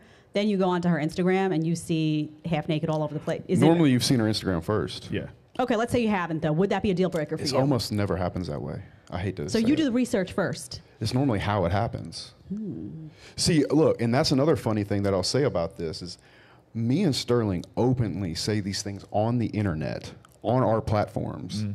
And you go into our Instagram and it's still full of women. Now, meanwhile, the guy that the guy that hates us and is out here fighting for women, I promise you, the Walsh kid, he's not got women in his in his DMs. That's and that's interesting too because if women were so bothered by the content of what you're saying, Yeah. you wouldn't have those messages. That's why I look at what women- women wh- what- internationally though. Is it more American women or is it because that's another theory that's out there? This it is an doesn't American matter. problem. It doesn't matter the country. Yeah. It doesn't matter. the. There's matter. there's no country on this planet where we have it. not cleaned up. there is no country we've gone to because it's Oh, all man. the same. It's all primal. It's not the language. It's primal. Mm-hmm. I can't tell you how many women I've seen Stirling or even myself maybe like be with and like they don't speak English. They don't speak English. That's not easy to navigate that. Situation. yeah, it is. It's actually easier. It's actually easier. It's I'll way tell you. I'll tell you. No, it is. no, it is no. easier. It's Ima- way easier. Imagine this. Imagine this. You're on a date with a girl, and you have to type a message in Portuguese. It's great. And then you hand it to her, and she No, giggles. stop. She giggles. Google Translate game is Google- a thing. I- we're undefeated at Google Translate. Yeah. It's And the you- best. But did, you couldn't. It's do so- awesome. You And then really what? and, and it and it works out for you. And you Think re- about it. Think about date it. these girls. Yes. Think about it from your perspective as a woman for a second, Jennifer. Think about it from a woman's perspective. I wouldn't wanna do that. No, no, no. Oh, let me paint the picture for you. We're, we're on a date and we can't communicate. Can you speak Spanish or whatever? Even though I speak a bit of Spanish, I'm going to pretend, pretend I don't. Okay. It's way better. Google Translate, and you have to sit there in anticipation. Yeah. What's he going to say to date is better. The date's better. You're way too excited about that. I, I love it. It's my favorite thing to do. When we're somewhere else and, and it's not English, I'm like, bro, Google Translate game. and Let's it's go." funny. Like bad, bad Spanish or bad English is funnier. You can say things that you wouldn't know. Like you can say really simple sentences. It just gets elaborate. It's funny. you don't It's feel a- like it's, it's a, a little game. harder to make that no, connection. no, no, no, no, though? no. It, it Nope. triples the connection Yeah. because you're doing it together. Yep. Oh my gosh, Yep. you all are too funny. I can't Way easier. even. How does oh she not my get this? gosh. I don't get it. Because I'm a woman. I sit with two guys. When Well, are you? men when, and women are when are you different. going to be more present than when you were like making like and it's like the laughing in the back? Dude, I'm telling you, it's bad. Because boy. body language is. I is wish I could do it with girls in international. Miami. You're like ed- everyone can read body Yeah. language. No, I hear your point. And that's I a do. large part of what women are, are pinging off of a dude. The body language, Is yeah. Mm-hmm. his body language, right? If, is he yeah. n- is he nervous? Right. Is he is he confident? Is he stoic? What is what's his eye contact Right. like? Right. Like all, she's understanding all these Right. sub communications. and it's mischievous. You have to understand that. like because being a teenager times- Air of again. mystery you're, about yeah, you're it. in this group setting. It's like a yes or no note. And so everybody's having a conversation around the table, and you and her like, and this like y'all's little secret under the table. Justin, you're having way too much oh, fun bro, with this. you man. should see me do it. Maybe I'll tag along Yeah. and I'll Yeah. just watch this unfold. Okay, Stirling, I want to get to uh, Deli. We're going to come to you in a couple of minutes. Y'all You're having giving too away all much the fun. secrets, Justin. yeah, we should be charging for this. Oh man, Stirling, I want to get to a couple of you, one of your tweets and then one that corresponds with it. Um, this'll fun. Deli, you see a number seven. Do you see the two tweets that you see uh, Stirling on the two bunnies? You see that one first? Can we put that Ah. up, please? You, y'all remember? I know some- this one. Yeah. yeah, yeah. Okay. Tiny Rabbit is obsessed with giant girlfriend who's four times his size. Now, I saw this, laughed out loud. I don't know if take you a were guess what I tweeted, Justin. No, I'm just in, in your own head. Okay. the tweet says, can we go back up to his tweet? It says, oh, wait, there was another one before that. Oh, did I maybe pull the wrong one? Because I quote tweeted that. You quote tweeted it. That might have been why. Is it? Did you say women like giant angry elephants and men like mouse or something? Is that No, where no. I'm I said, from? I said, you can bring, bring the tweet up again. and I'll just repeat back what I tweeted. I said, this is literally every left-leaning couple oh, that's I've right. ever met. That's right. Giant woman, tiny man. That basically describes every liberal couple I know. And then I found this one. Deli, pull this up with the legs. You see that one? Deli's laughing, so that's a good sign. Okay. Me, my boyfriend. She's on the left. And we laugh, okay? Now this is this is a comment we can have about obesity being what it is, and we know obesity. I know we could talk about the dad bods all day, but obesity is being glorified among women now. You see the magazine saying fat is healthy. You see these some call them whales. I'm not going to say that, but dangerous. these giant Yeah. women, it's dangerous, it's unhealthy, Huh. and you see that happening. Um, but it's also to me a statement on, I see it, like I said, that scene at the grocery store. I see a lot of these women who I, I, I see the couples, and I literally say to myself, sometimes I'll turn to my husband and I'll be like, how, how do they have sex? She is massive. She looks like she's like, "Rawr," you know, she's masculine. She's like, come on over here, babe. She's got the deep voice. It sounds like she's got more testosterone. And he's like, okay, honey. He's all bony. You know, I mean, it, it, this is walk around a mall and look around. You're seeing this dynamic. We're joking about it, but you're seeing this more and more why like what's happening to men like even just the physical nature i know we talk about have you ever talked about like shrinking testosterone levels Oh yeah, I talk, I talk about that a lot. why do you think that's happening because that is a I that's can, a I can give you a masterclass on why that's happening. So men's men's testosterone levels have declined year on year for like the last 50 years Mm-hmm. at least. Um, so in some context, the average 30 year old guy today would have the same testosterone levels as a guy who was 60 years old in 1950. That's a good Mm-hmm. comparison. that's scary That's ridiculous because your your, nat- your your testosterone naturally declines with age. That's a natural thing. But for you know your 60 year old say ancestor to have t- the same amount of testosterone you do at half his age is ridiculous. The reason that's happening is a whole bunch of reasons why that's happening.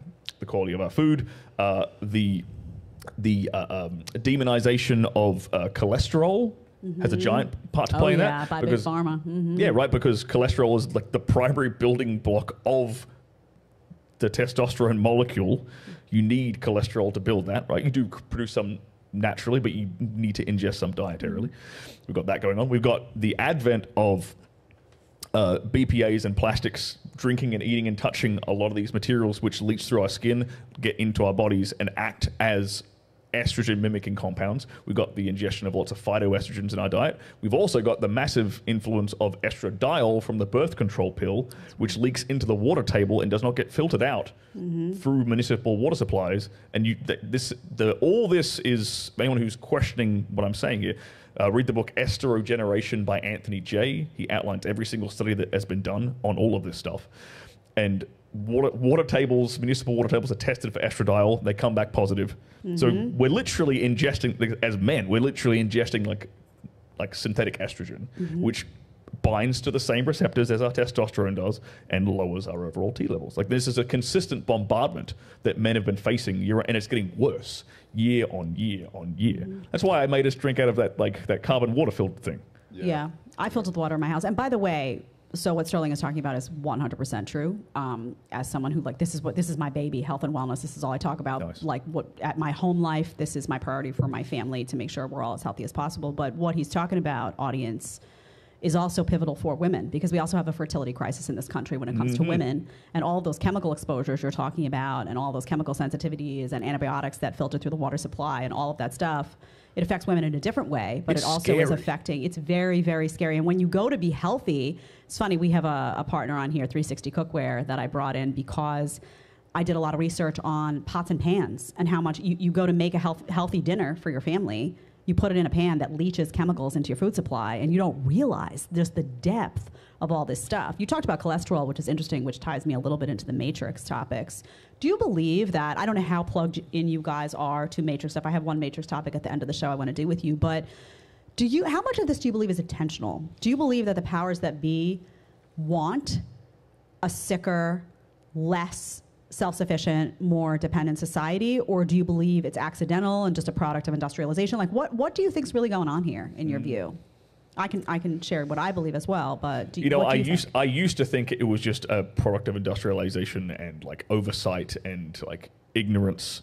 And the older I get, the more tinfoil hat I get, and the more I'm like, this is deliberate. Like this, Mm-hmm. ha- like, because so many things consistently have been Mm-hmm. going against men being masculine. Like Uh-huh. you look at the education system, you look at social media, you look at like we just said, all, all food and and constant chemical exposure, like everything. You couldn't have engineered something better if you tried Right. to try and make men less masculine. So at a certain point, I look at all that and I'm like, it's just too much of a coincidence for me to be like, oh yeah, it was accident. Yeah. Whoops, it'll happen like this magically. You know, Yeah, I mean, I always say my phrase here is the destruction is intentional because I really believe if you look at the Eat Bugs campaign, if you look at what they're doing to farmers, Yeah. the demonization of meat, the demonization of all of these things, you talked about cholesterol. There's a billion upon billion upon billion dollar industry of pharma drugs, of, of pharmaceutical companies that make a ton of money off You cholesterol you medication. don't make you, d- you can't make money if people are healthy. You can't. You can't. You have like people need to be sick and unhealthy for you to make money off of them. That's right. That's the, that's the, that's simple. Like And you can't control people either unless No. they're unhealthy because unhealthy people become scared. And I think we've all seen that the last couple of years the fear that overtook the population and what they were and weren't willing to do, and mandates and the success of those things as a result of a terrified population. So if you look at it like that, for me, it's all connected. It's like there's, there are people who have incentive, financial and otherwise, to have a population that where masculine men are increasingly less masculine, think their masculinity is a problem, think it's toxic. You have shrinking testosterone levels. You have guys that are sitting in front of video games all day long instead of getting out there, getting into the gym, doing what you know what will build them up.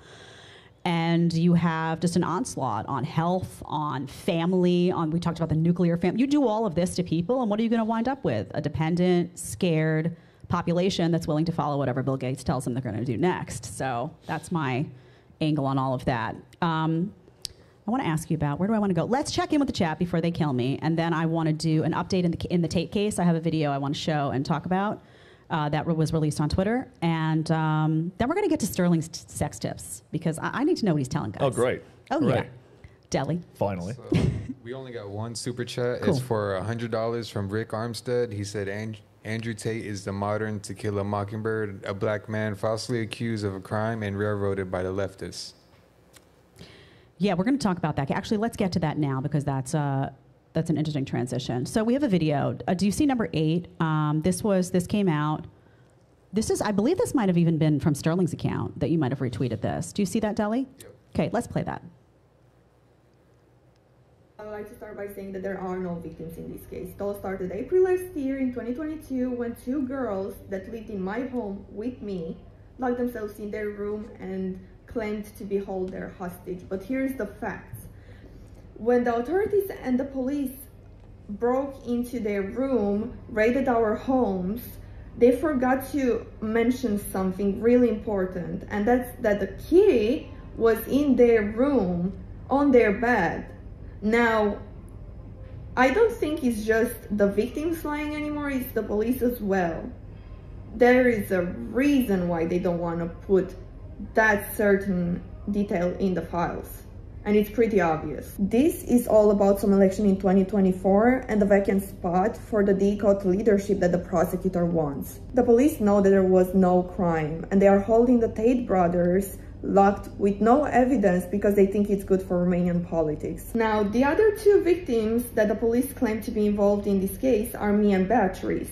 And we have been given three statements so far clearly saying we are not victims and we have never worked with or for Andrew and Tristan Tate in any way, but our statements keep getting thrown away. The police don't care about the truth. They don't listen to neither me nor Beatrice. Instead, they choose to listen to two girls that went on a luxurious vacation on the French Riviera a week or two after being rescued for whatever they claimed to be. Another fact is that the police threw away the surveillance footage from the house, inside the house and outside the house, because they don't, don't consider it evidence. Evidence that proves that those girls were able and were going for walks, they were going out of the house with their phones whenever they wanted, wherever they wanted. we want Deli, justice. They want police.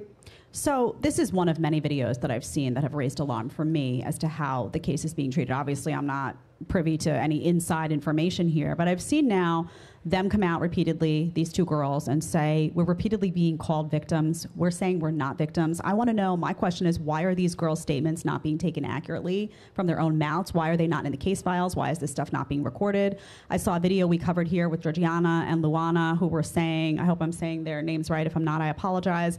But they put out a video where they showcased that a lot of two of these women who were making accusations. One was saying she was being held in captivity. There's video of her scrolling on her phone, saying, How could she be held in captivity if you've got access to a cell phone? Doesn't make any sense. Another girl was seen, she made accusations of sexual assault. Three weeks later, she's twerking half naked, had a party in the house. That just seems like odd behavior for me for someone who's making such an accusation as a female and sitting here like, this is just not how it would play out. This doesn't make any sense to me. So I'm curious to ask you both. Do you believe, you know, obviously I don't, we're not, and none of us are privy to inside information with respect to what's going on behind closed doors over there, but this sound is, is sounding to me like it's more and more political what's going on here. Do you guys want to share an opinion about that? I think she summed it up pretty well. Like it's about to, like the pieces have finally come together where it's like okay, here's the clear motive of why they're doing this to Andrew and Tristan, and it's about this this uh, DIICOT. Uh, leadership position that's coming up for election, so they, they're trying to make these guys are trying to make themselves look big on an international stage to get this job, basically. And they, they all know, like they all know, it's a stitch-up job. The evidence is falling flat everywhere you look. It's just it's ridiculous. That's why they that's why they and they're because as my understanding because of the way the Romanian justice system works, they're allowed to keep detaining them for an extended period of time. And their lawyer wasn't allowed to like look over the uh, They didn't have prosecution's case time. files, stuff That's like this. right. It's just it's it's so clearly a stitch-up job. But regard, like, does it concern you regardless as to how this is going to end? If there's this level of corrupt, it seems to be there are layers deep of corruption here. From what I can see, my naked eye, I'm just like this. This is not adding up for me. Is there I mean, concern? Yeah. if you look at what these brothers have done for the country of Romania, like they they literally they put Romania on the on the map internationally. They've res- people don't know half this stuff. They've they've rescued so many uh, like street dogs. They have like a foundation for rescuing street dogs. They c- built an orphanage in Romania. People don't know that either. They donated constantly to the Romanian Orthodox Church. They've done so much for the country of Romania, and to and then to see this happen to them, it's just heartbreaking. Justin, you have any thoughts on? My concern was never whether they're innocent or not. Yeah. My concern has always been whether it's going to be fair. And I think that's the biggest thing. It's absolutely political. Mm-hmm. And, and my concern is zero about whether they're innocent. I, I have no doubt about that. Mm-hmm. It's whether they're going to get set up. That is my only concern. Some people So- have written in to me, and um, there's been concern by people who support the Tate's message, who support the War Room, who support hustlers, who have been positively affected by the Tates in their life. Andrew, in particular, whether it was you know motivation to get in the gym, motivation to improve their lives, and they'll say to me, "Well, what happens to the movement if?" They don't get out. You know, worst case scenario in these people's minds is they feel like the person at the top who really makes sure that all of this stuff funnels through um, and gets to them. If that person vanishes, the whole movement will be a discredited or be vanished. Can you offer some sense that that won't happen. For those who really feel that you know the war room and hustlers and all that has had a positive impact on their lives. They're looking at this saying well is, does it just all go away without tate? And they're also saying by the way is that the motivation? Are they trying to get this guy because you get the guy at the top and you're able to then discredit and dismantle an entire movement behind him? Is that possible? Can you offer any reassurance any thoughts on that? I don't think Tate's message is going anywhere. He he he literally has an entire like the what do you call them Zoomers? Mm-hmm. Like the whole Zoomer generation of boys are, mm-hmm. are basically fans of Andrew Tate. You think they're going to stop preaching his message? He's already convinced them that they need to be in shape, making money, mm-hmm. hustling, building their life, like putting themselves through trials. He's already convinced an entire generation of young men that this is the way forward. Mm-hmm. You think they're going to suddenly discard that message just because you know if if Andrew's detained for a longer period of time? I don't think so. I think it'll pour gasoline on a fire. Yep. Honestly, Make him a Uh, martyr. You've yeah. just you've just made it. You've Yeah. already made him a martyr, basically. And he said it himself, you could take me, but you can't kill an idea. Mm-hmm. And so I completely think that it's already done. So Mm-hmm. holding Andrew is not going to stop it. Yeah, there's been effort to try to convey by some who don't like him that his his following's not organic. You know, they try to make it that, you know, the affiliate marketing and Vice tried to do this as well to say, "Oh, it's just affiliate marketing. You know, these people are just bots."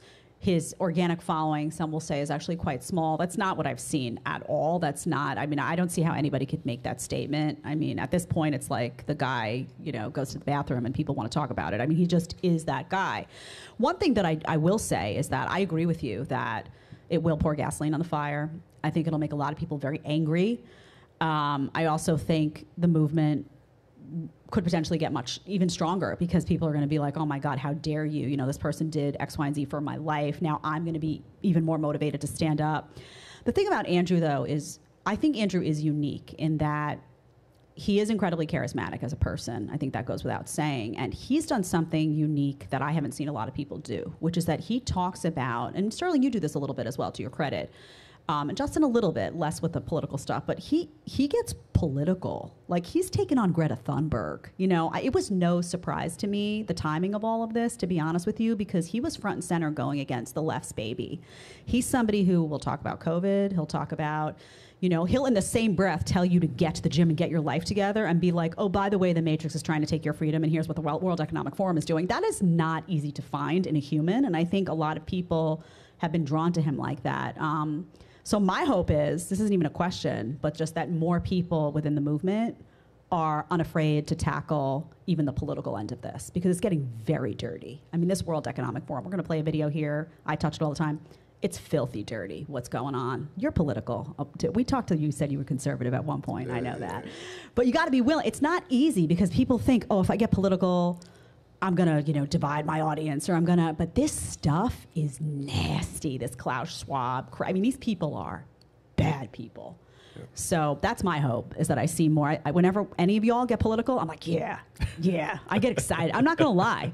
I'm not gonna lie. Deli, I'm gonna check in with you, and then I wanna. Um, I'm gonna force force these guys to get political for a second. Uh oh. They're like, I'm leaving. You don't need to force me. I'm Yeah, getting it's- out. it's Justin's like, peace out. It's yo. not a problem. It's not a problem.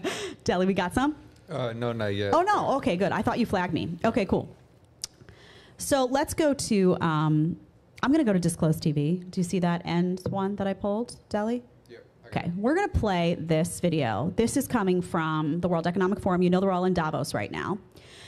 This is Tony Blair, former prime minister, and uh, he's talking about some stuff that's gone on in the last two years, which I would like to address with you guys because I think that we've never seen more of a void of masculine men than we saw in the last two years. Let's take a look. Let's play it, Deli. You need to know who's been vaccinated and who hasn't been. Some of the vaccines that will come on down the line will be multiple. There'll be multiple shots. So you've got to have, for, for reasons to do with the healthcare more generally, but certainly for uh, a pandemic or for um, for, for vaccines, you've got to have a proper digital infrastructure, and many countries don't have that. In fact, most countries don't have that. You need to know. So I'm not going to talk about. We're not getting into the details of vaccine efficacy and all that. I'm going to leave that for another space and another time. What I want to talk to you about is what he's talking about: digital infrastructure. I've heard you talk about this. These people are trying like hell to impose something digital as a means to control the population. We look over the last two years and we've saw we've seen that when people are scared, they will comply. with any number of things. They there are too many members of the population that don't they don't care about the data. They got terrified. It was like, oh, here, here's my arm. What is it? What's in it? Who cares? But, but, but, you know, it was, oh, a mask, six masks. Oh, let me just. There was no questioning of anything. Do you think that, based on what we've seen from compliance level in the population, when you hear efforts like this, does it concern you that people will just line up and be like, oh, digital? Oh, cool. Sounds like they're going to take care of me. Here's my name. Here's my info.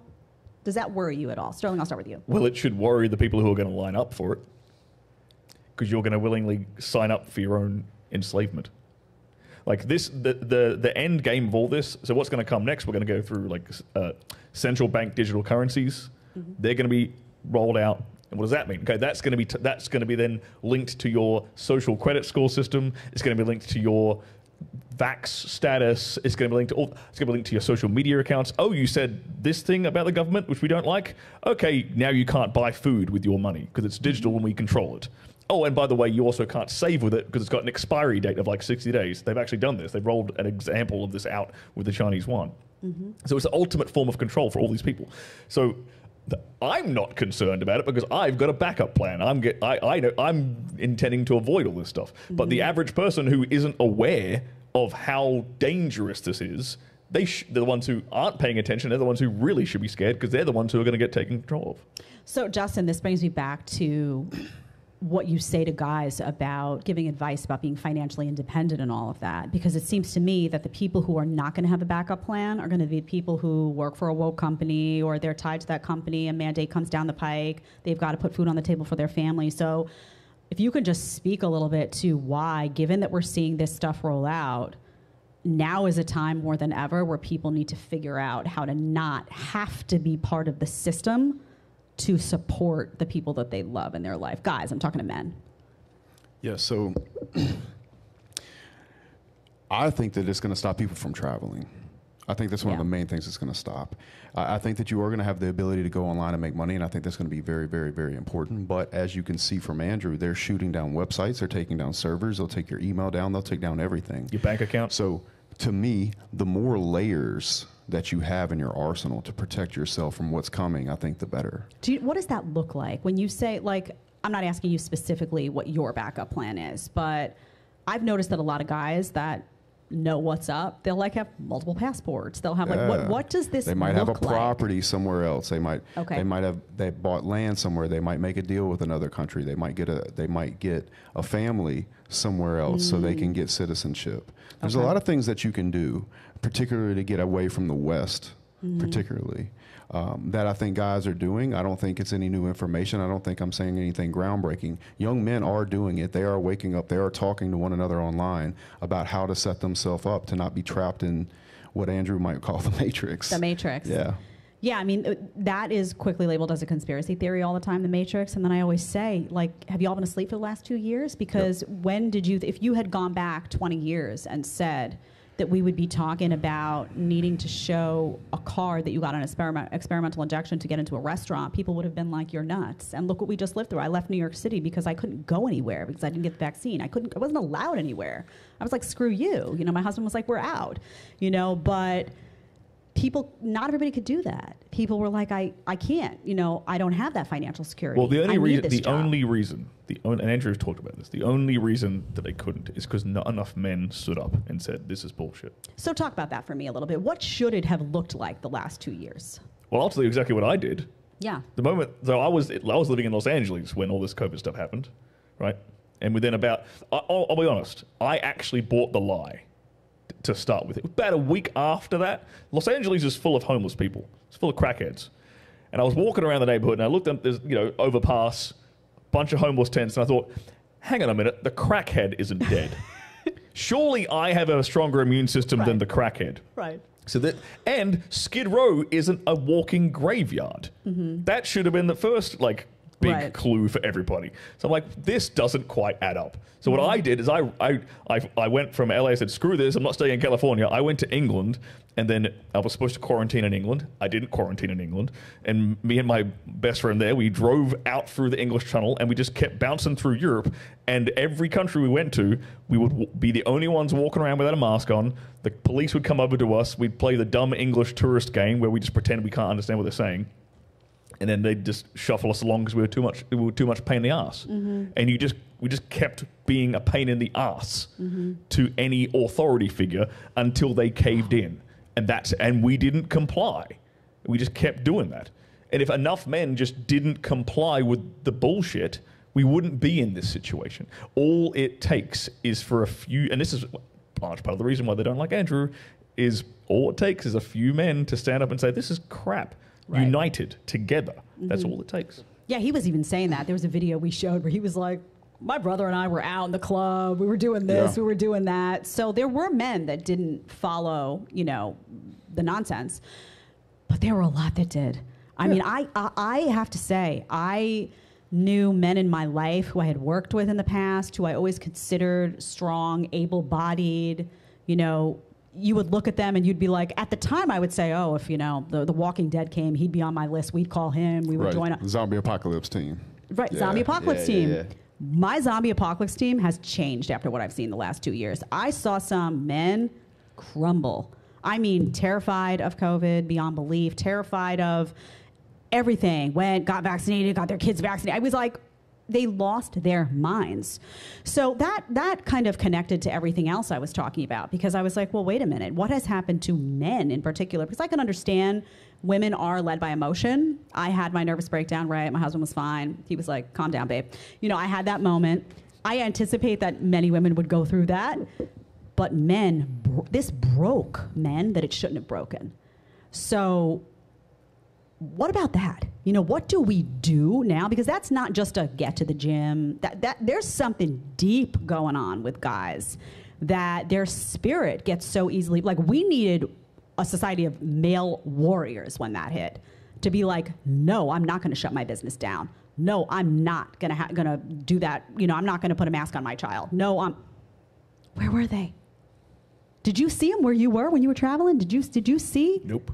Did you see them other than yourselves and your circle? Did you see guys that were like? I'll tell no? you. Where, I'll tell you where you can find them. Where? The war room.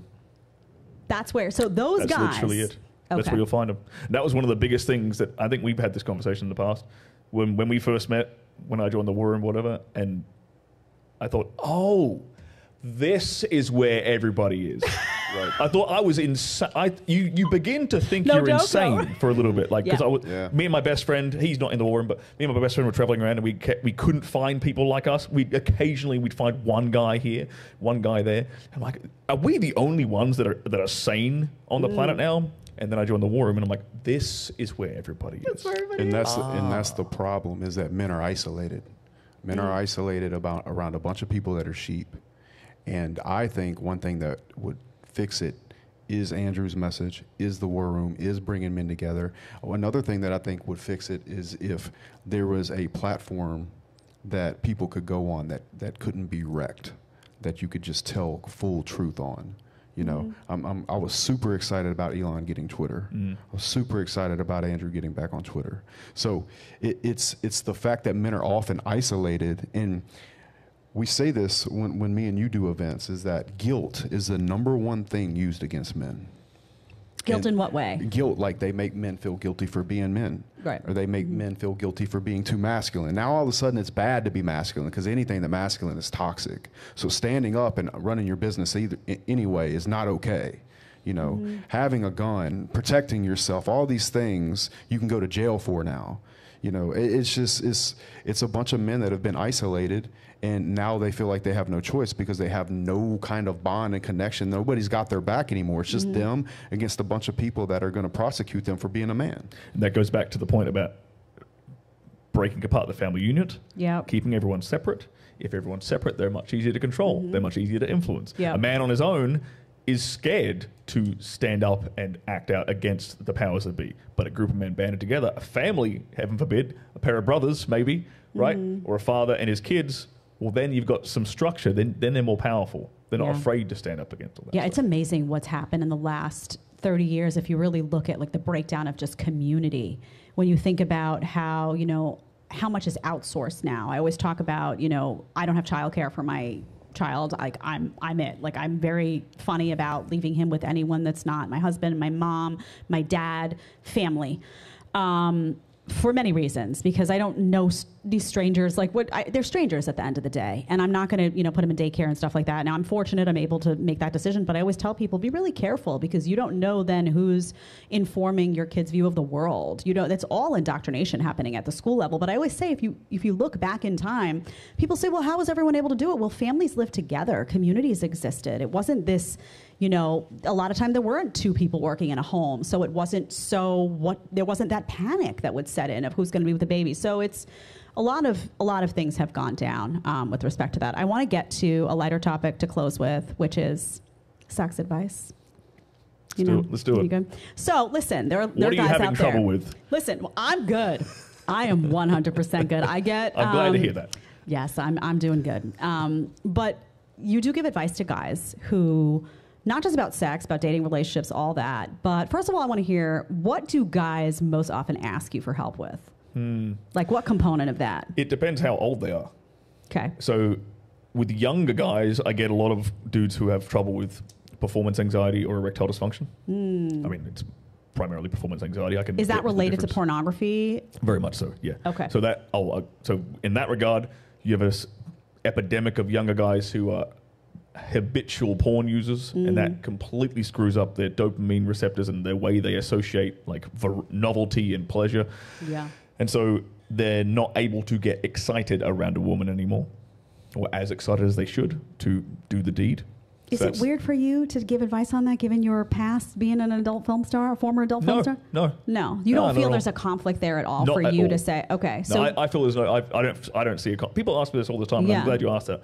I, the way I look at it is like, okay, some people can can consume this product and it doesn't screw them over. The same way some people can can drink alcohol and they have no problem, but Mm-hmm. other guy over here, you give him a bottle and he's under the bridge. He has a problem with alcohol, Right. so he should probably go to AA. He should probably quit that stuff, right? Because it's screwing up his life. Okay. Look at the consequences. Look at the ramifications of this habit. Is it with porn example, right? Are you not hitting the gym as much because you're jerking off all the time? Are you having terrible sleep? Are your T levels plummeting? Are your relationships with women shitty? Is your sex life screwed up? Like the fir- if a guy comes to me and he says he has any problems in the bedroom, the first thing I tell him to do is stop watching porn. Do that to start with, and then we'll see what happens. okay. That might be all you need to do. If not, we move on. We find other solutions, right? Um, with older guys, what I find is it's actually like a, a they, cut- they don't. The number one problem they come to me with is lasting longer. With older dudes, because older dudes didn't grow up with pornography. Older dudes didn't grow up with an, with an iPhone or a smartphone, or whatever, Got and, it. and um, or Pornhub and X videos and stuff all over their phone. So they ain't got that problem. Their problem is they never learnt to control their body and understand you know, the relationship, like having a balanced pelvic floor or understanding how to control themselves or understanding like the point of no return. And I've never heard a man talk about a guy's pelvic floor. That's so important. They talk about it with women all the time because we have babies and then we go to PT for it and all that stuff. But I've never heard that. That's so important to talk about a guy's pelvic floor. That's that's fascinating to me that yeah, you well, the number, the, that. the main reason that guys can't last as long as they want to is because they have an imbalance in their pelvic floor. Interesting. Wow. Because the when a when a dude ejaculates, it's a contraction of the muscles down there. So their muscles are t- typically, if a guy can't last very long, his muscles are too tight down there, mm. and he- or at least one half of them are. So he needs to balance that out, and then he can last longer. What do you say to guys who just can't? They can't. They can't get laid. Like they can't. They want to have sex. They're. It's not happening for them. There's so many sexless men, and that's just not healthy. What do you, What's the advice to kind of? What are they doing wrong? they're doing a lot of stuff wrong. I mean, they they need to get their sigils in order, like we might say in the war room. They need to get get their health sorted out, get their get their finances sorted, and miraculously, if you get if you if you start making more money, you start hitting the gym looking good, you might start feeling a bit more confident. You might start walking around with a bit more swag and a bit more mm. self esteem. Okay, that is contagious. Women can smell that on That's a true. man, right? It's undeniable. You can't fake that. Mm-hmm. Okay, so okay, you're, you're a bit depressed, you're not getting laid. All right, hit first thing first. Hit the gym, start feeling better about yourself. Mm-hmm. All right, now let's figure out how you can start making some more money, so you can start living a bit, bit more of a f- freer life than you previously were. You can st- again mm-hmm. start improving your own self-esteem and self-worth. Okay, now let's start working on like your general social skills. Like, are you a loner? Are you just hanging out by yourself all the time? Do you have a band of brothers who keep you accountable, who make you be social, who you can talk about your your your worries and your ideas and your worldviews with? Bounce, just generally learn to be a more social human being. Mm-hmm. being a social person is a skill. And I said this about sex. Sex is a skill, just like anything else. These are all learnable skills. No one, no one is like born amazing in bed, right? Mm-hmm. It's, it's something, it's a skill set they developed through experience. And the same with social skills. You've got to develop that through experience. There's a, there's a reason this man is incredibly charming. Is because since he's been a little kid, he's been he's been the guy smooth talking all the ladies. Like that's why Is you're that incredibly true, charming. Justin? Is that true? I was pretty good at a young age. Yeah. So you never had a period because you know it was really funny. I was going to bring it last time you and I sat down together. You were giving tips to guys about whatnot. I remember I got a message and one guy was like, "Oh, sure." You know, but he looks. Justin looks like Justin, and Justin's got. I'm not going to be able to pull that off. I hate that excuse. I hate I when get guys that. use That's- that as an excuse because I know I have in my entire life. You cannot take this experience away from me. I've met so many dudes who are either like I- here's a great example. I met this. I knew this guy back in Perth. I'm from west coast of Australia, right? Brazilian dude, face riddled with acne scars. Hmm. I wasn't even aware that he had acne scars for the first couple of weeks of me knowing this guy because he was so charming. You will see past somebody's physical appearance if they are charming enough, if they have true. those social skills down. And there are, and again, I know so many dudes who are fat, Mm-hmm. short, who, ugly, who crush it with ladies because they are ridiculously charming. And they've also worked on these other parts that we talk about. They're physically capable. They know how to fight. So they, they because they know how to fight, they walk into a room with presence. They command that presence from somebody else, right? Or they've got their finances together so they can provide for their for a family and whoever comes in, into their life. They have these other pillars of their life they've got sorted out, so they're not. And I also know guys who are ridiculously good looking and super tall, who have every other aspect of their life is in the gutter. Yep. yeah. because they they relied with they spent their whole childhood relying on that one thing and it got them so far. It got them through say high school when they were like the, the, the top guy or whatever. They leave high school and everything comes collapsing around them because they didn't I'll- work on anything else I'll also say the scars for a guy, like you talk about acne scars, or I remember like a guy when I was in college had like scars. Sometimes that stuff could be like attractive in a man. It's not. It's not necessary. Guys can see that as an obstacle, but it's different for men and women again. But I think sometimes a guy who's been through it. You, you know, one of the advantages I think you in particular had when, when somebody said, "Oh, sure, Justin," I was like, "This guy's been through it." We talked about your past. We talked about you did not have an easy upbringing. So I think some of what women see in men, I always say like sturdiness, like the fact that you've been through struggle, you've overcome that struggle, the fact that you went through struggle and you came out on the other side and you are financially secure and you are someone who, you know, is a gentleman and all of that stuff. That's much more powerful than, you know, just the visual. Of course, you know, you're going to want a guy to you going to want to be attracted to them and hot for them, but part of what makes you hot for them is that that like that confidence that I can overcome because that makes women feel safe, and women really want to feel safe. let me quick So, give you a yeah. quick hypothetical scenario say uh, let's say take a let's say a guy like justin you wear you you were about to go on a date with a guy who and you've only seen him online where he's okay he's tall and he's handsome i know that about him right Yeah. and then you get to the date and he is completely nothing like you would expect. Yeah. Right? He has no social skills whatsoever. He's super nervous. He's insecure. Right?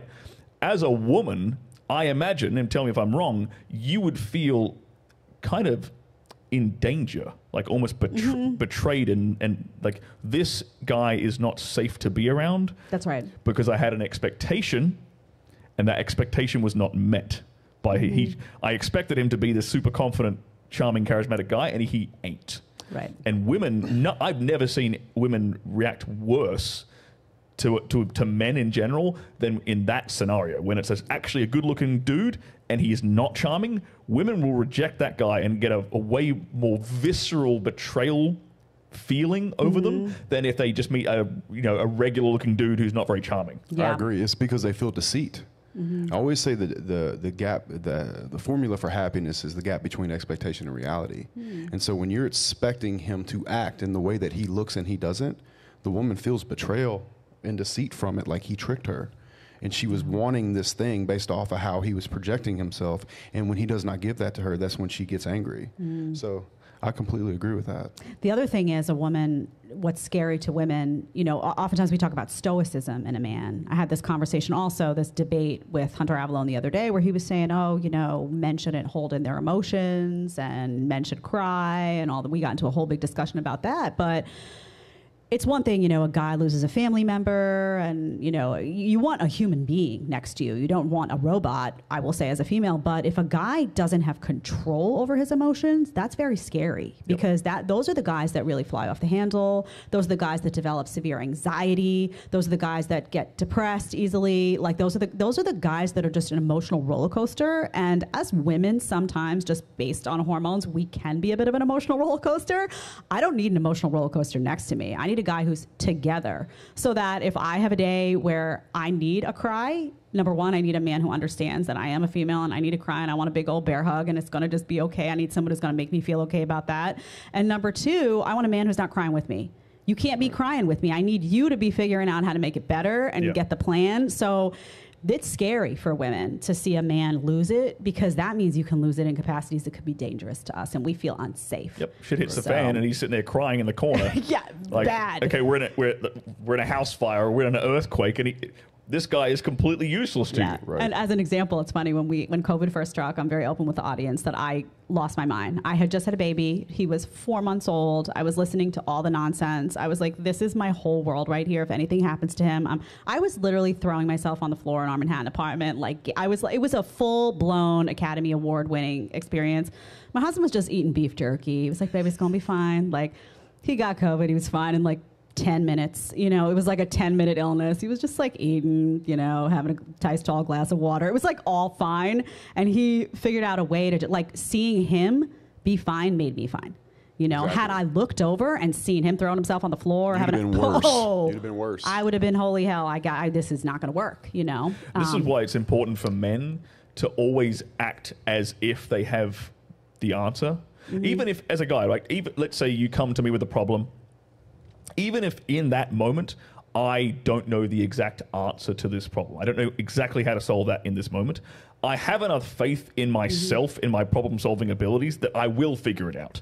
So then I can tell you, it's okay, baby, I've got it handled. Mm-hmm. And maybe that's uh, if you look at it objectively i'm kind of lying because i don't necessarily know how i'm going to fix it but i have faith in myself that i will figure it out. Mm-hmm. So in a way it, you have to present that to your woman that you will solve her problems or both of your problems whenever they whenever, whatever the world is going to throw at you you have to have the resolve to sit there and be like i will figure this out no matter what it takes don't y'all get stressed?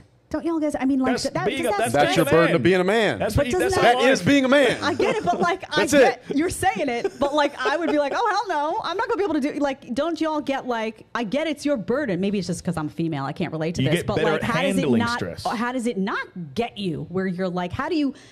Because there are men that it does get to, right? And your message to them is you got to build yourself up. You got to figure out a way for it not to get to you, so you can be that support system for the woman next to you, if, if that's what you want, a family and whatnot but like how, is that just h- how do you build that like how do you tell a guy i mean that's just not just going to the gym you got to like dig deep for that is that that you have to struggle that you have to go through obstacles that you have to let it break you once and then the second time it doesn't break you is that how that works yeah. you got to Yeah. you got to constantly put yourself through the fire Yeah. put yourself through the fire until you don't get burned or you get burned and you don't cry about it. put yourself in un be I like to say be comfortable in the uncomfortable. Yeah, Constantly put yourself in uncomfortable situations, Mm-hmm. and that is what's going to build up that stress tolerance. Y'all, I can't even, if I take a long drive, I got to make sure I have three snacks in the car. My husband knows it's like traveling with a small child. I, I just, I'm telling you, women and men are two different species. All right. I want to close with a uh, question for you guys. Um, so I get a lot of, I get a lot of love, I get a lot of hate. And of course, you know, the feminists call me a pick me. You've heard that expression, like as if Yeah, I don't get that. Yeah, What- it's basically saying that like I'm I'm saying my commentary. I'm, you know, elevating masculinity. I'm saying all this because I want to be liked by men. Are they assuming that you don't believe what you say? They're assuming that I'm hungry for male attention even though I'm married with a child, and by the way, lost two big paying television jobs because Mm. I refused to toe the talking point of that organization. I'm like, y'all really think that I'm doing this now? Now I'm going to suddenly be saying what you want me to say? It's oh, ridiculous. and, and the woman who posts the strap pictures on Instagram isn't hungry Not for male thirsty. attention. Oh, she's not hungry. Right. The But- women but sleeping you around having who right. actually care about the the world her son's going Yeah. to grow up in, you're Right. the one. Okay, I got right. it. Thank but you. that message goes to. damn question. I gotta piss. Do you? Yes. okay, this is the question. One thing that I, and we're going to wrap after this. The one thing that um, comes to me all the time is people will say, no matter what you say, the guys in the space, they're never going to defend you. It's a boys' club, you know. You're, you're the women who speak out, whether it's me, whether it's just Pearly Things, whether it's Allie Drummond, whoever it may be. The joke's on you. You know, they're never going to come out and speak out for you because it's a boys' club. Blah blah blah blah. What do you say to feminists who say that you guys don't really respect women like me? Your response to them, because I get this question a lot. I think they're What- ludicrous. What did I say about her on the way? Yeah. Yeah, I, I. Not me, but like you know, I'm not making but, this but personal. let's but- use you. Let's use you particularly. I respect you in every way. I think it takes a very, very, very strong woman to look at the world for what it is and not be emotional about it and call it like truth. And I think that's very rare amongst women. So for mm-hmm. all the women that are standing up for what the truth is, that can look with their own eyes and make their own opinions for themselves, are of the strongest women in the world. And for those women, I respect the most.